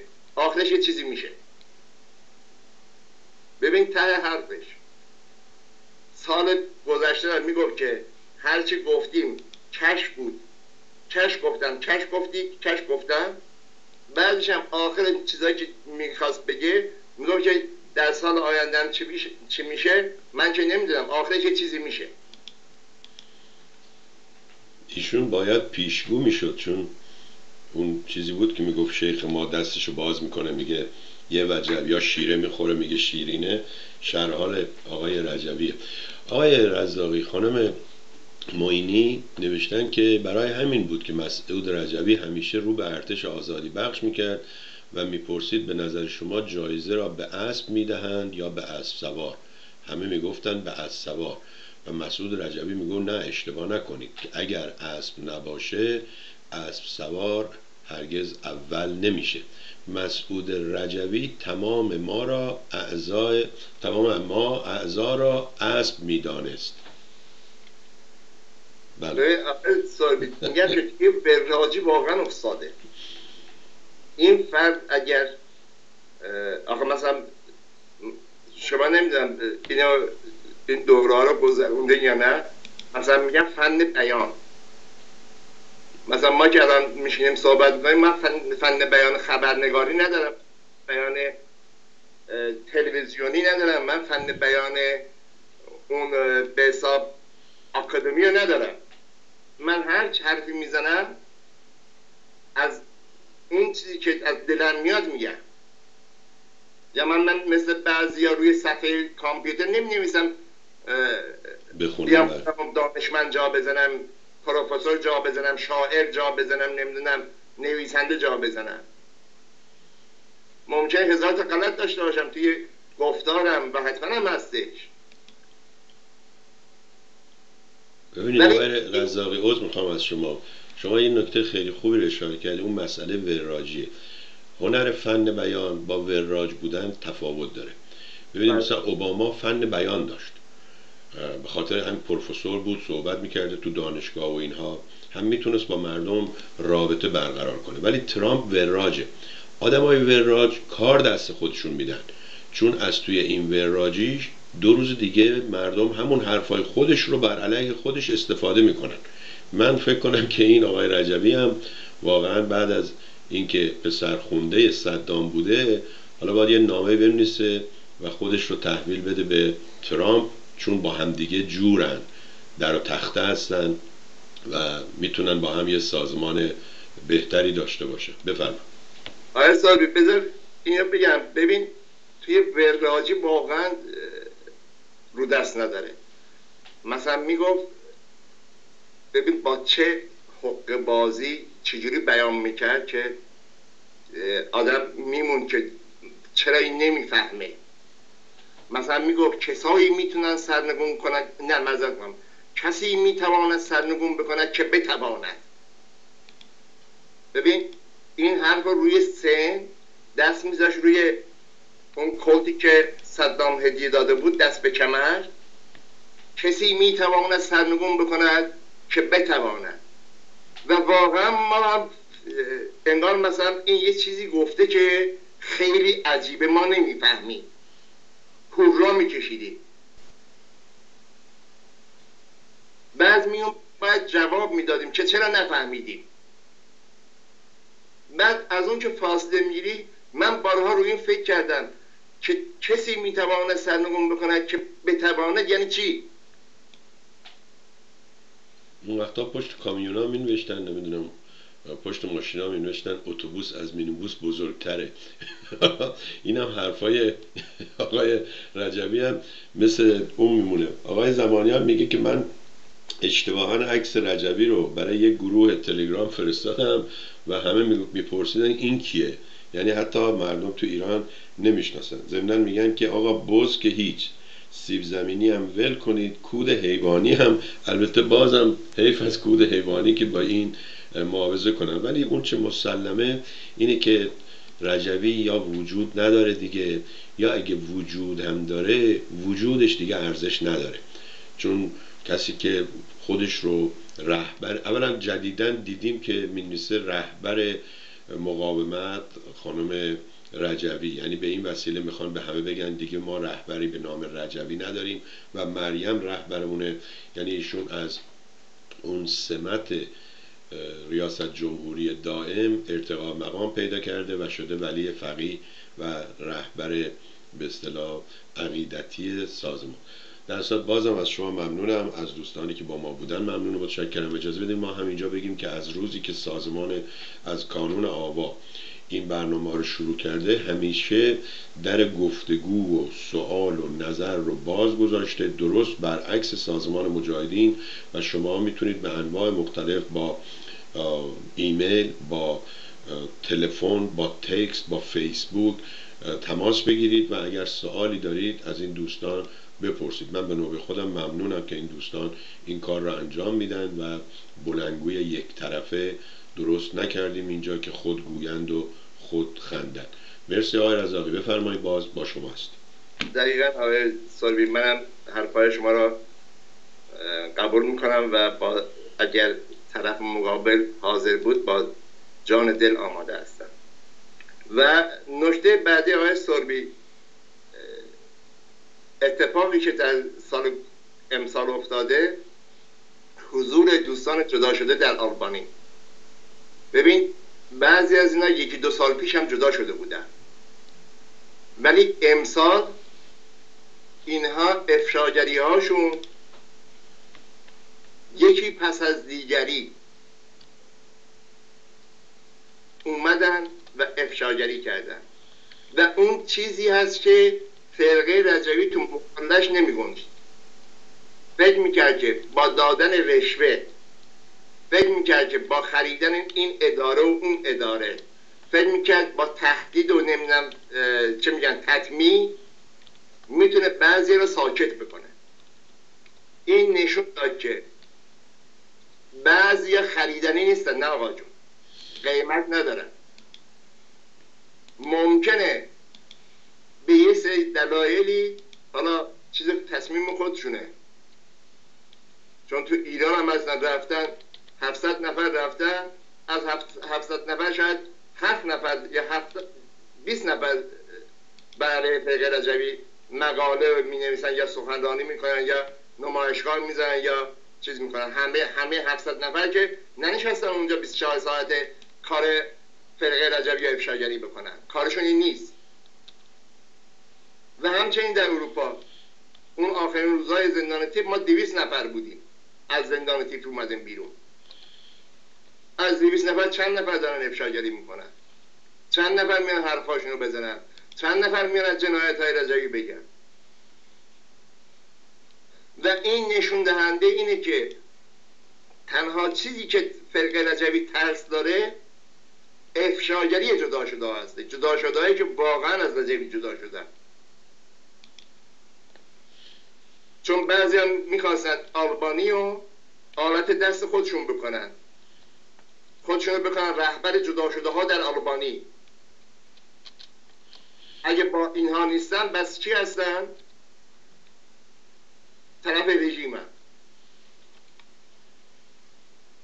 این حرفایی که رجبی می‌زنه طرف تو آلبانیه. نه هنوز نه به داره نه به باره.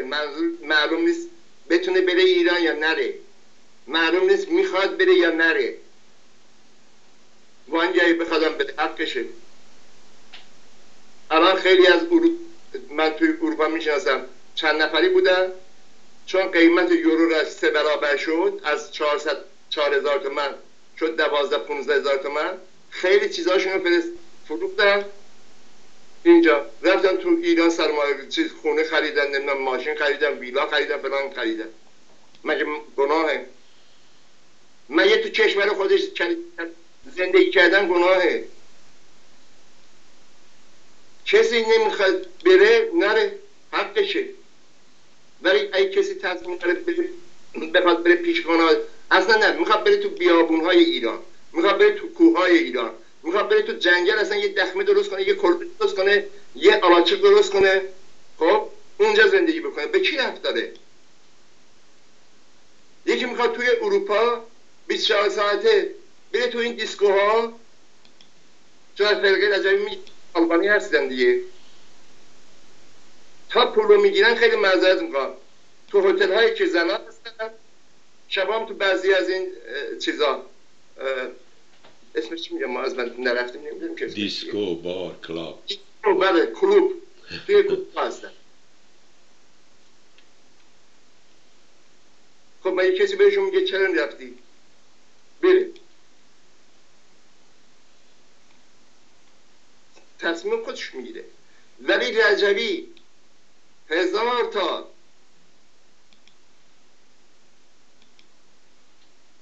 آر... چیز می‌کنه نظم می‌کنه که یک جدا شده از آلبانی نیاد حرف بزنه.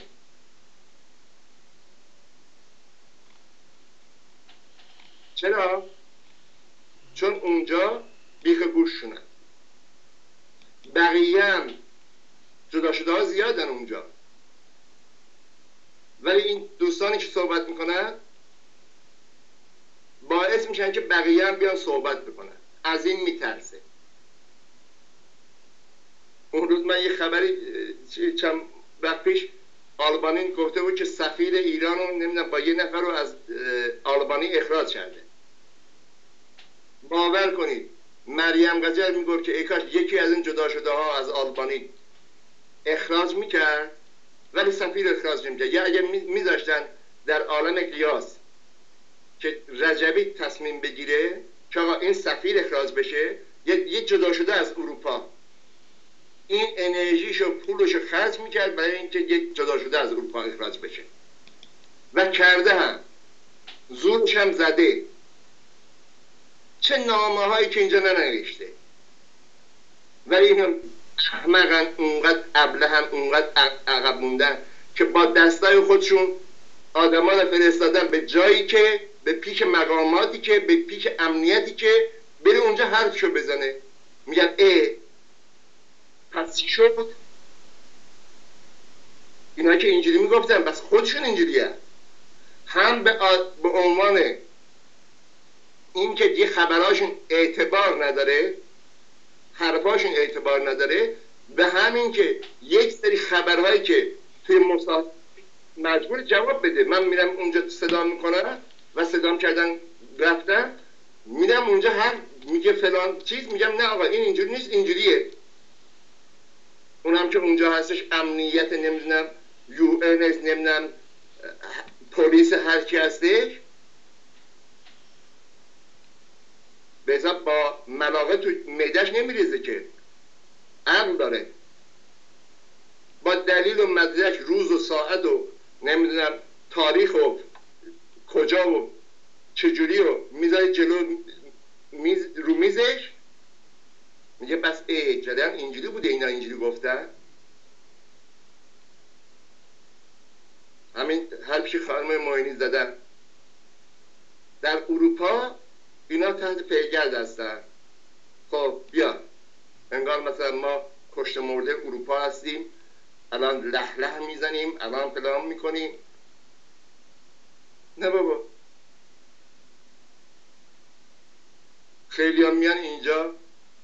بعد شرایط پناهندگی می‌بینن خودشون تصمیم می‌گیرن برگردن ایران. تو خبرها هم هستش. اینا فکر می‌کنن یکی تو آلمان مصاحبه می‌کرد میگو من فکر کردم که میام اروپا. تو موج پناهنده که اومدن. گفت چند تاشون بودن؟ گفت ما فکر کردیم میام اروپا. همین که بلا فاصله میایم به ما یه خونه میدن ماشین میدن بعد امکانات میدن هر روز میریم مثلا فلان می‌کنیم. دیدم خبری نیستش می‌خوام برگردم.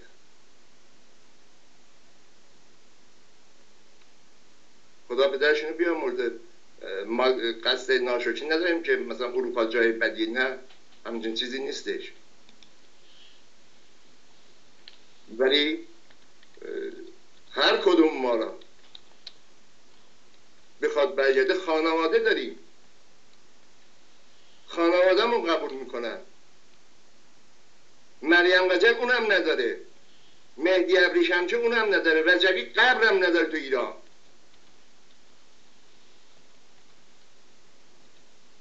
مردم ایران قبولش نمی‌کنن. معیار اینه. همونجوری که تو عراق نه نمیگم کار درستیه. ولی دیدیم که هر قبر هر کدوم از این مزارا اسم اینا بوده همه خراب کردن تو وادی سلام کربلا. تو اردوگاه اشرف. کسی خوششون نمیاد از اینا. این باید خیلی مذر می‌خوام خودش خراب بکنه که جا نداره داخل ایران. هفتصد نفر از جلو چشم ما. هفتصد نفر بالبندیشون رفتن رفتن ایران. از اروپا چند نفر میرن ایران برگردن؟ همچین هم از ایران میگه ایران ایران. آقای سوری خدا کسی که ایران حرف می‌زنه؟ اعتراضایی که می‌کنن نوشته که می‌کنن از اونهایی که توی اروپا ادای اپوزیسیون در میارن بهتره. اونجا یه, یه خط نوشتن حرف زدن برابر با یه کتاب نوشتن این فلان آقا در اروپای آمریکا هستش. چون واقعیت بخوایم مبارزه هستی داخل ایرانه. خواسته ها داخل ایران صورت می‌گیره. اینم در مورد دوستان جدا شده در آلبانی. اما نکته سومی که توی امسال بود آقای سوریگی چیز عمده بود این جلسه ورشو بود. فرق رجبی یک کیسه بزرگی دوخته بود که از این ورشو برای اینم یه چی میگن؟ یه لغمه در میاد که مثلا اینو حلوا حلواش می‌کنن فلان اینا. در این حقیقت دیدیم که این انتظار برآورده نشد. ببخشید من این بله. بفرم چون اینها در چیز گذشته اسمش چه میگن؟ چند روز مونده به جلسه ورشو توی پاریس یه تظاهراتی رو انداختن با دبدبه و کبکبه و آوردن نفرات از کشورهای مختلف و دادن پول به این چند تا از این آباده های کشورهای مختلف توی پاریس دویست نفر نتونستن جمع کنن. و می‌خواستن توی ورشو یه لغمه چرب چیلی بگیرن. که دیدیم که ورشو اون جلسه ای که آمریکایی برگزار کردن توی ورشو به رسمیت شناختن عقد ازدواج عربا با اسرائیل بوده. هیچ ربطی به اسم ایران به حساب اینو هوا کردن این فیلو ولی آمریکا اون خطی که با اسرائیل می‌خواست پیش ببره رفت اونجا انجام داد. عربا و اسرائیلی یا نمی‌دونم این عربستان سعودی که تا حالا به صورت مخفی داشتن با اسرائیلی همکاری می‌کردن اونجا روبروی هم نشستن. اینو می‌خواستن رسمیت بدن. مریم قجل میگم که اینا اصلا تئوریسین هاش مثلا کیا هستن؟ تئوریسین ها سی ساله چهل ساله با همین مخ. به روز نمیشن که این مخ. شما یه ساختمون خراب میشه باز برمیداری اینو یه میکوبی میریزی زمین از نو می‌سازی با هر مدل جدید با هر مساله جدید. ولی این مخ که مال اینا دارن که تمیز بشاد نوبشو نیست. اینها نشستن اونجا. اون چیزی که خیال پردازی اون چیزی که خوشایند مسئولشه اون چیزی که خوشایند مریم قجره اون چیزی که خوشایند چیزه؟ به سران فرقه هستش اونو باید بنویسه. چون اگه عقاید خودشو بنویسه حتی گیریم که مغزش یه درصد کار بکنه اونو نمی‌تونه بنویسه. در نتیجه از توش این در میاد. آفتاب لجن. هفته است. شام نهار. هیچی. نه سرنگونی سال 80 به حساب 96 خبر شد. 22 بهمن. نه از ورشو اینا آبی گرم شد. و نه از خروج ترامپ از برجام. امسال اتفاقی جدی که توی رابطه با ایران افتاد این بود که آقای ترامپ از برجام خارج شد. ابریشمچی توی به حساب اشرف سه توی آلبانی افتاده وسط رقصیده که یک کار رژیم تمومه. رژیم سرنگونه. گفت امضا شد که رژیم سرنگونه. خودش افتاده وسط در قکمانه شروع کرده به رقصیدن.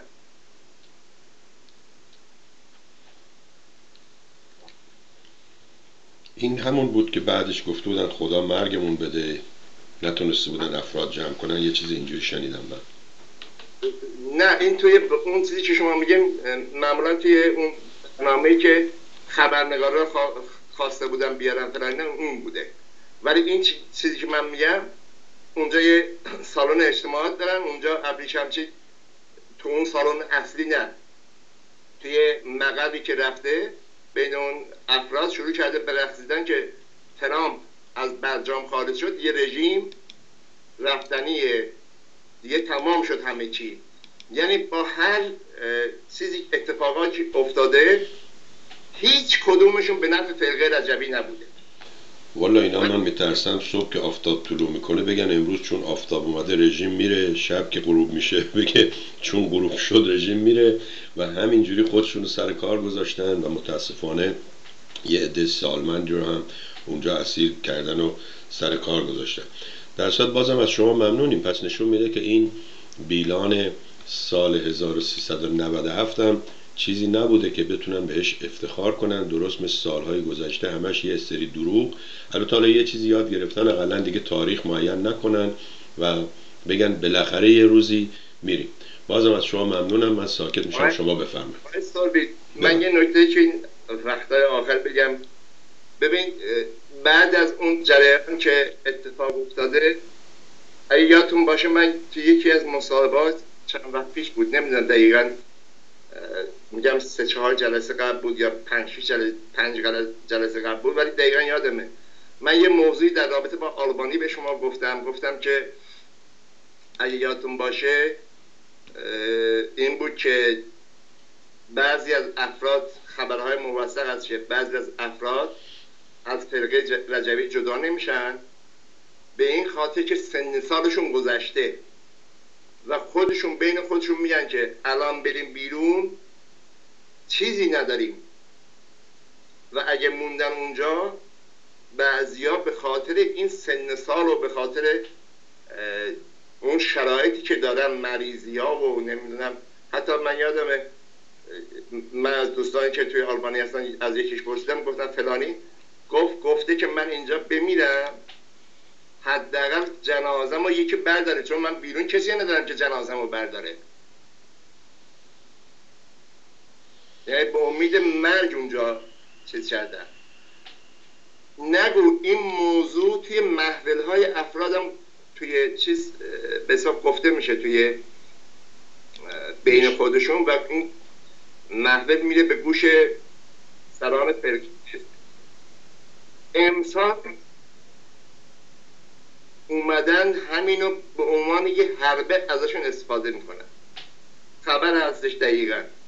که اومدن به اینها میگن که بدبخت بیچاره سن سال که گذشته به درد بخور که هستی به درد بخور که نیستی. بری بیرون. کجا جا داری؟ کی می‌خواد تو رو نگه داره؟ کی می‌خواد به تو غذا بپزه بده؟ کی می‌خواد جای تو رو درست کنه؟ کی این امکانات خونه بساب موندن رو بهت میده؟ و شروع کرده. حتی خیلی جالبه واقعا. میگم اوج چیز اینا تو هیچ آین دینی نیستش. برگشته به اینا گفته که حتی با این سن سال بریم بیرون خانواده هاتون شما رو قبول نمی‌کنن. مگه نونخور می‌خواهن ببین از کجا نفرات داره می‌زنه. با قبلا توی عراق بودیم از زندان ابو غریب نمی‌دونم از دو سال زندان موندن در اشرف. بعد فرستادن به میدان مین نمی‌دونم تحویل دادن به رژیم ایران میترسوند؟ الان افراد رو به روزی انداخته از خروجشون به خاطر اینکه امکان داره اینها امکانات نداشته باشن خانواده هاشون قبول نکنن امسال شروع کرده به این تهدید. و اینجا چه اون خانواده هایی که توی اروپا هستن آمریکا هستن کانادا هستن. چه اون خانواده هایی که توی ایران هستن. چون بعضی از خانواده ها امسال من خبرهایی چون دیدم چند نفرشون فوت کردن. واقعا اینها یه تلاشی بکنن و اون احساس و عشقشون رو به این عزیزانشون بگن. یه واقعیتیه. با اینکه سن سالشون گذشته ولی هر طوری هم هستش من با یه خواهری صحبت می‌کردم. می‌گفت که فلانی تو ذهن من هنوزم مثل اون زمانی که کیف سربازیشو برداشت از مرخص مرخصیش تمام شد برگشت جبهه مثل اون زمانه. میگو من الان نمی‌تونم تصور کنم که این به حساب سی سال ازش گذشته سی و پنج سال ازش گذشته. ببین اون چیزی که خواهر تو ذهنش تو این جامونده از برادرش اینه که این با لباس سربازی از خونه رفته بیرون. فکر می‌کنه که با لباس سربازی هم برمیگرده. یا ترخیص میشه برمیگرده. یه سی و پنج سال گذشته. فرق رجعی به این شیوه داره ناامید می‌کنه این افراد از جلوگیری می‌کنه. چون بعضی از دوستان مثلا من می‌بینم حقم دارن نظرات خودشون رو بگم. میگن که امسال ریزش نمی‌دونم ستایی میشه ریزش زیاد میشه. ولی به نظر من اینطور نیست. حتما ریزش داره حتما چند نفری جدا میشن. ولی امسال جز اون افرادی که خودشون تصمیم می‌گیرن واقعا به حساب به نقطه جوش می‌رسن چند نفری جدا بشن. ولی متاسفانه متاسفانه رزجوی با تمامی شیادی با تمامی رزالت با تمامی فریبکاری با دروغگویی اومده این اعضا را از این بابت خانواده هاشون از سوء استفاده از سن سالشون و گفتن اینکه فلانیا رفتن بیرون الان موندن خانواده هاشون هم قبول نمی‌کنه. اینجوری نیست. ببین این نام خانواده ها نباید از این نامید بشن. من به پدر مادرها در هر کجا که هستن خواهش می‌کنم.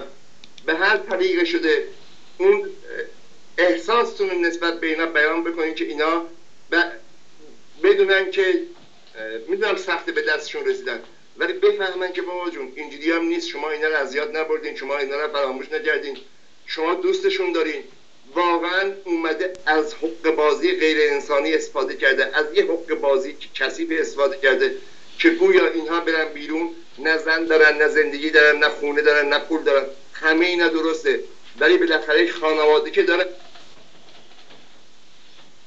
بالاخره اینا یه فامیل که دارن به خدا توی فرهنگ ایرانی خیلی جای ما تو اروپا می‌بینیم دیگه.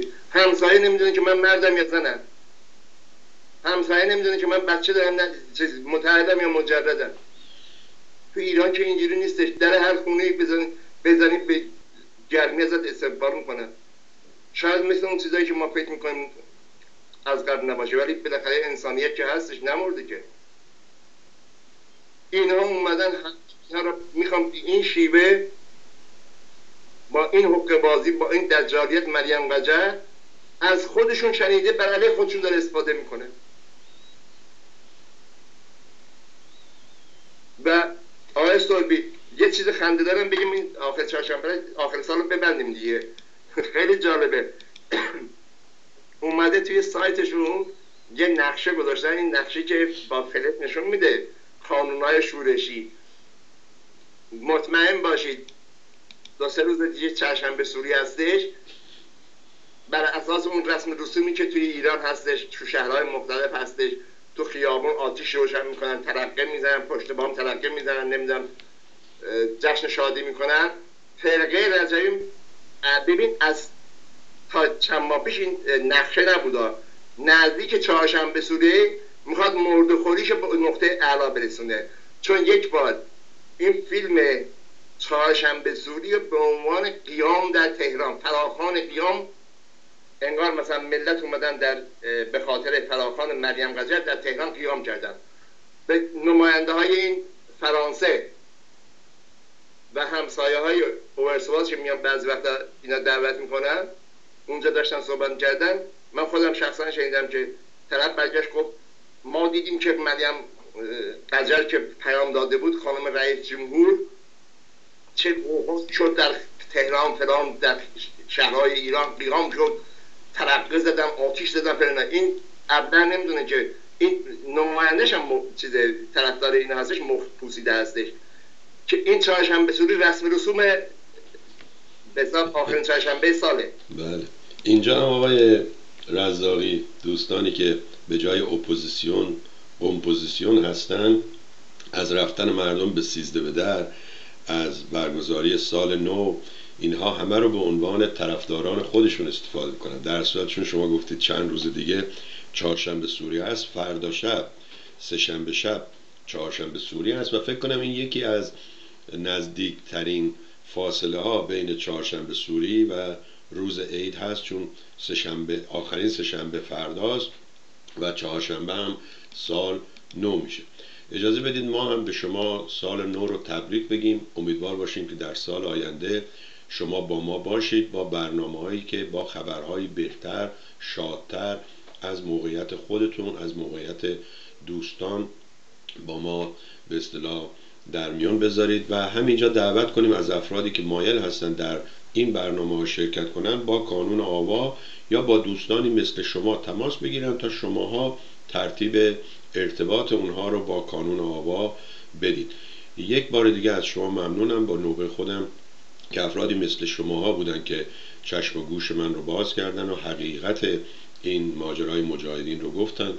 چون من هم تا اونجایی که امکان داشت قبلا به اینها کمک می‌کردم و حقیقتش الان یه جوری خودم رو مسئول می‌دونم که شاید کمک های افرادی مثل من بود که اینها رو از لیست در آورده و الان اینها اینجوری به اصطلاح یاقی شدن. آقای رزاقی برای شما سال خوبی آرزو می‌کنم. به امید دیدارتون و به امید فردایی بهتر. آقای سالی من به شما و خانوادهتون آرزوی بهتر رو دارم و به طور خاص دوستانی که تو این چند ساعت دو ساعت ما رو تحمل کردن و ما به طور خاص دوستایی که ما را اینجا همراهی کردن. من از همشون تشکر می‌کنم.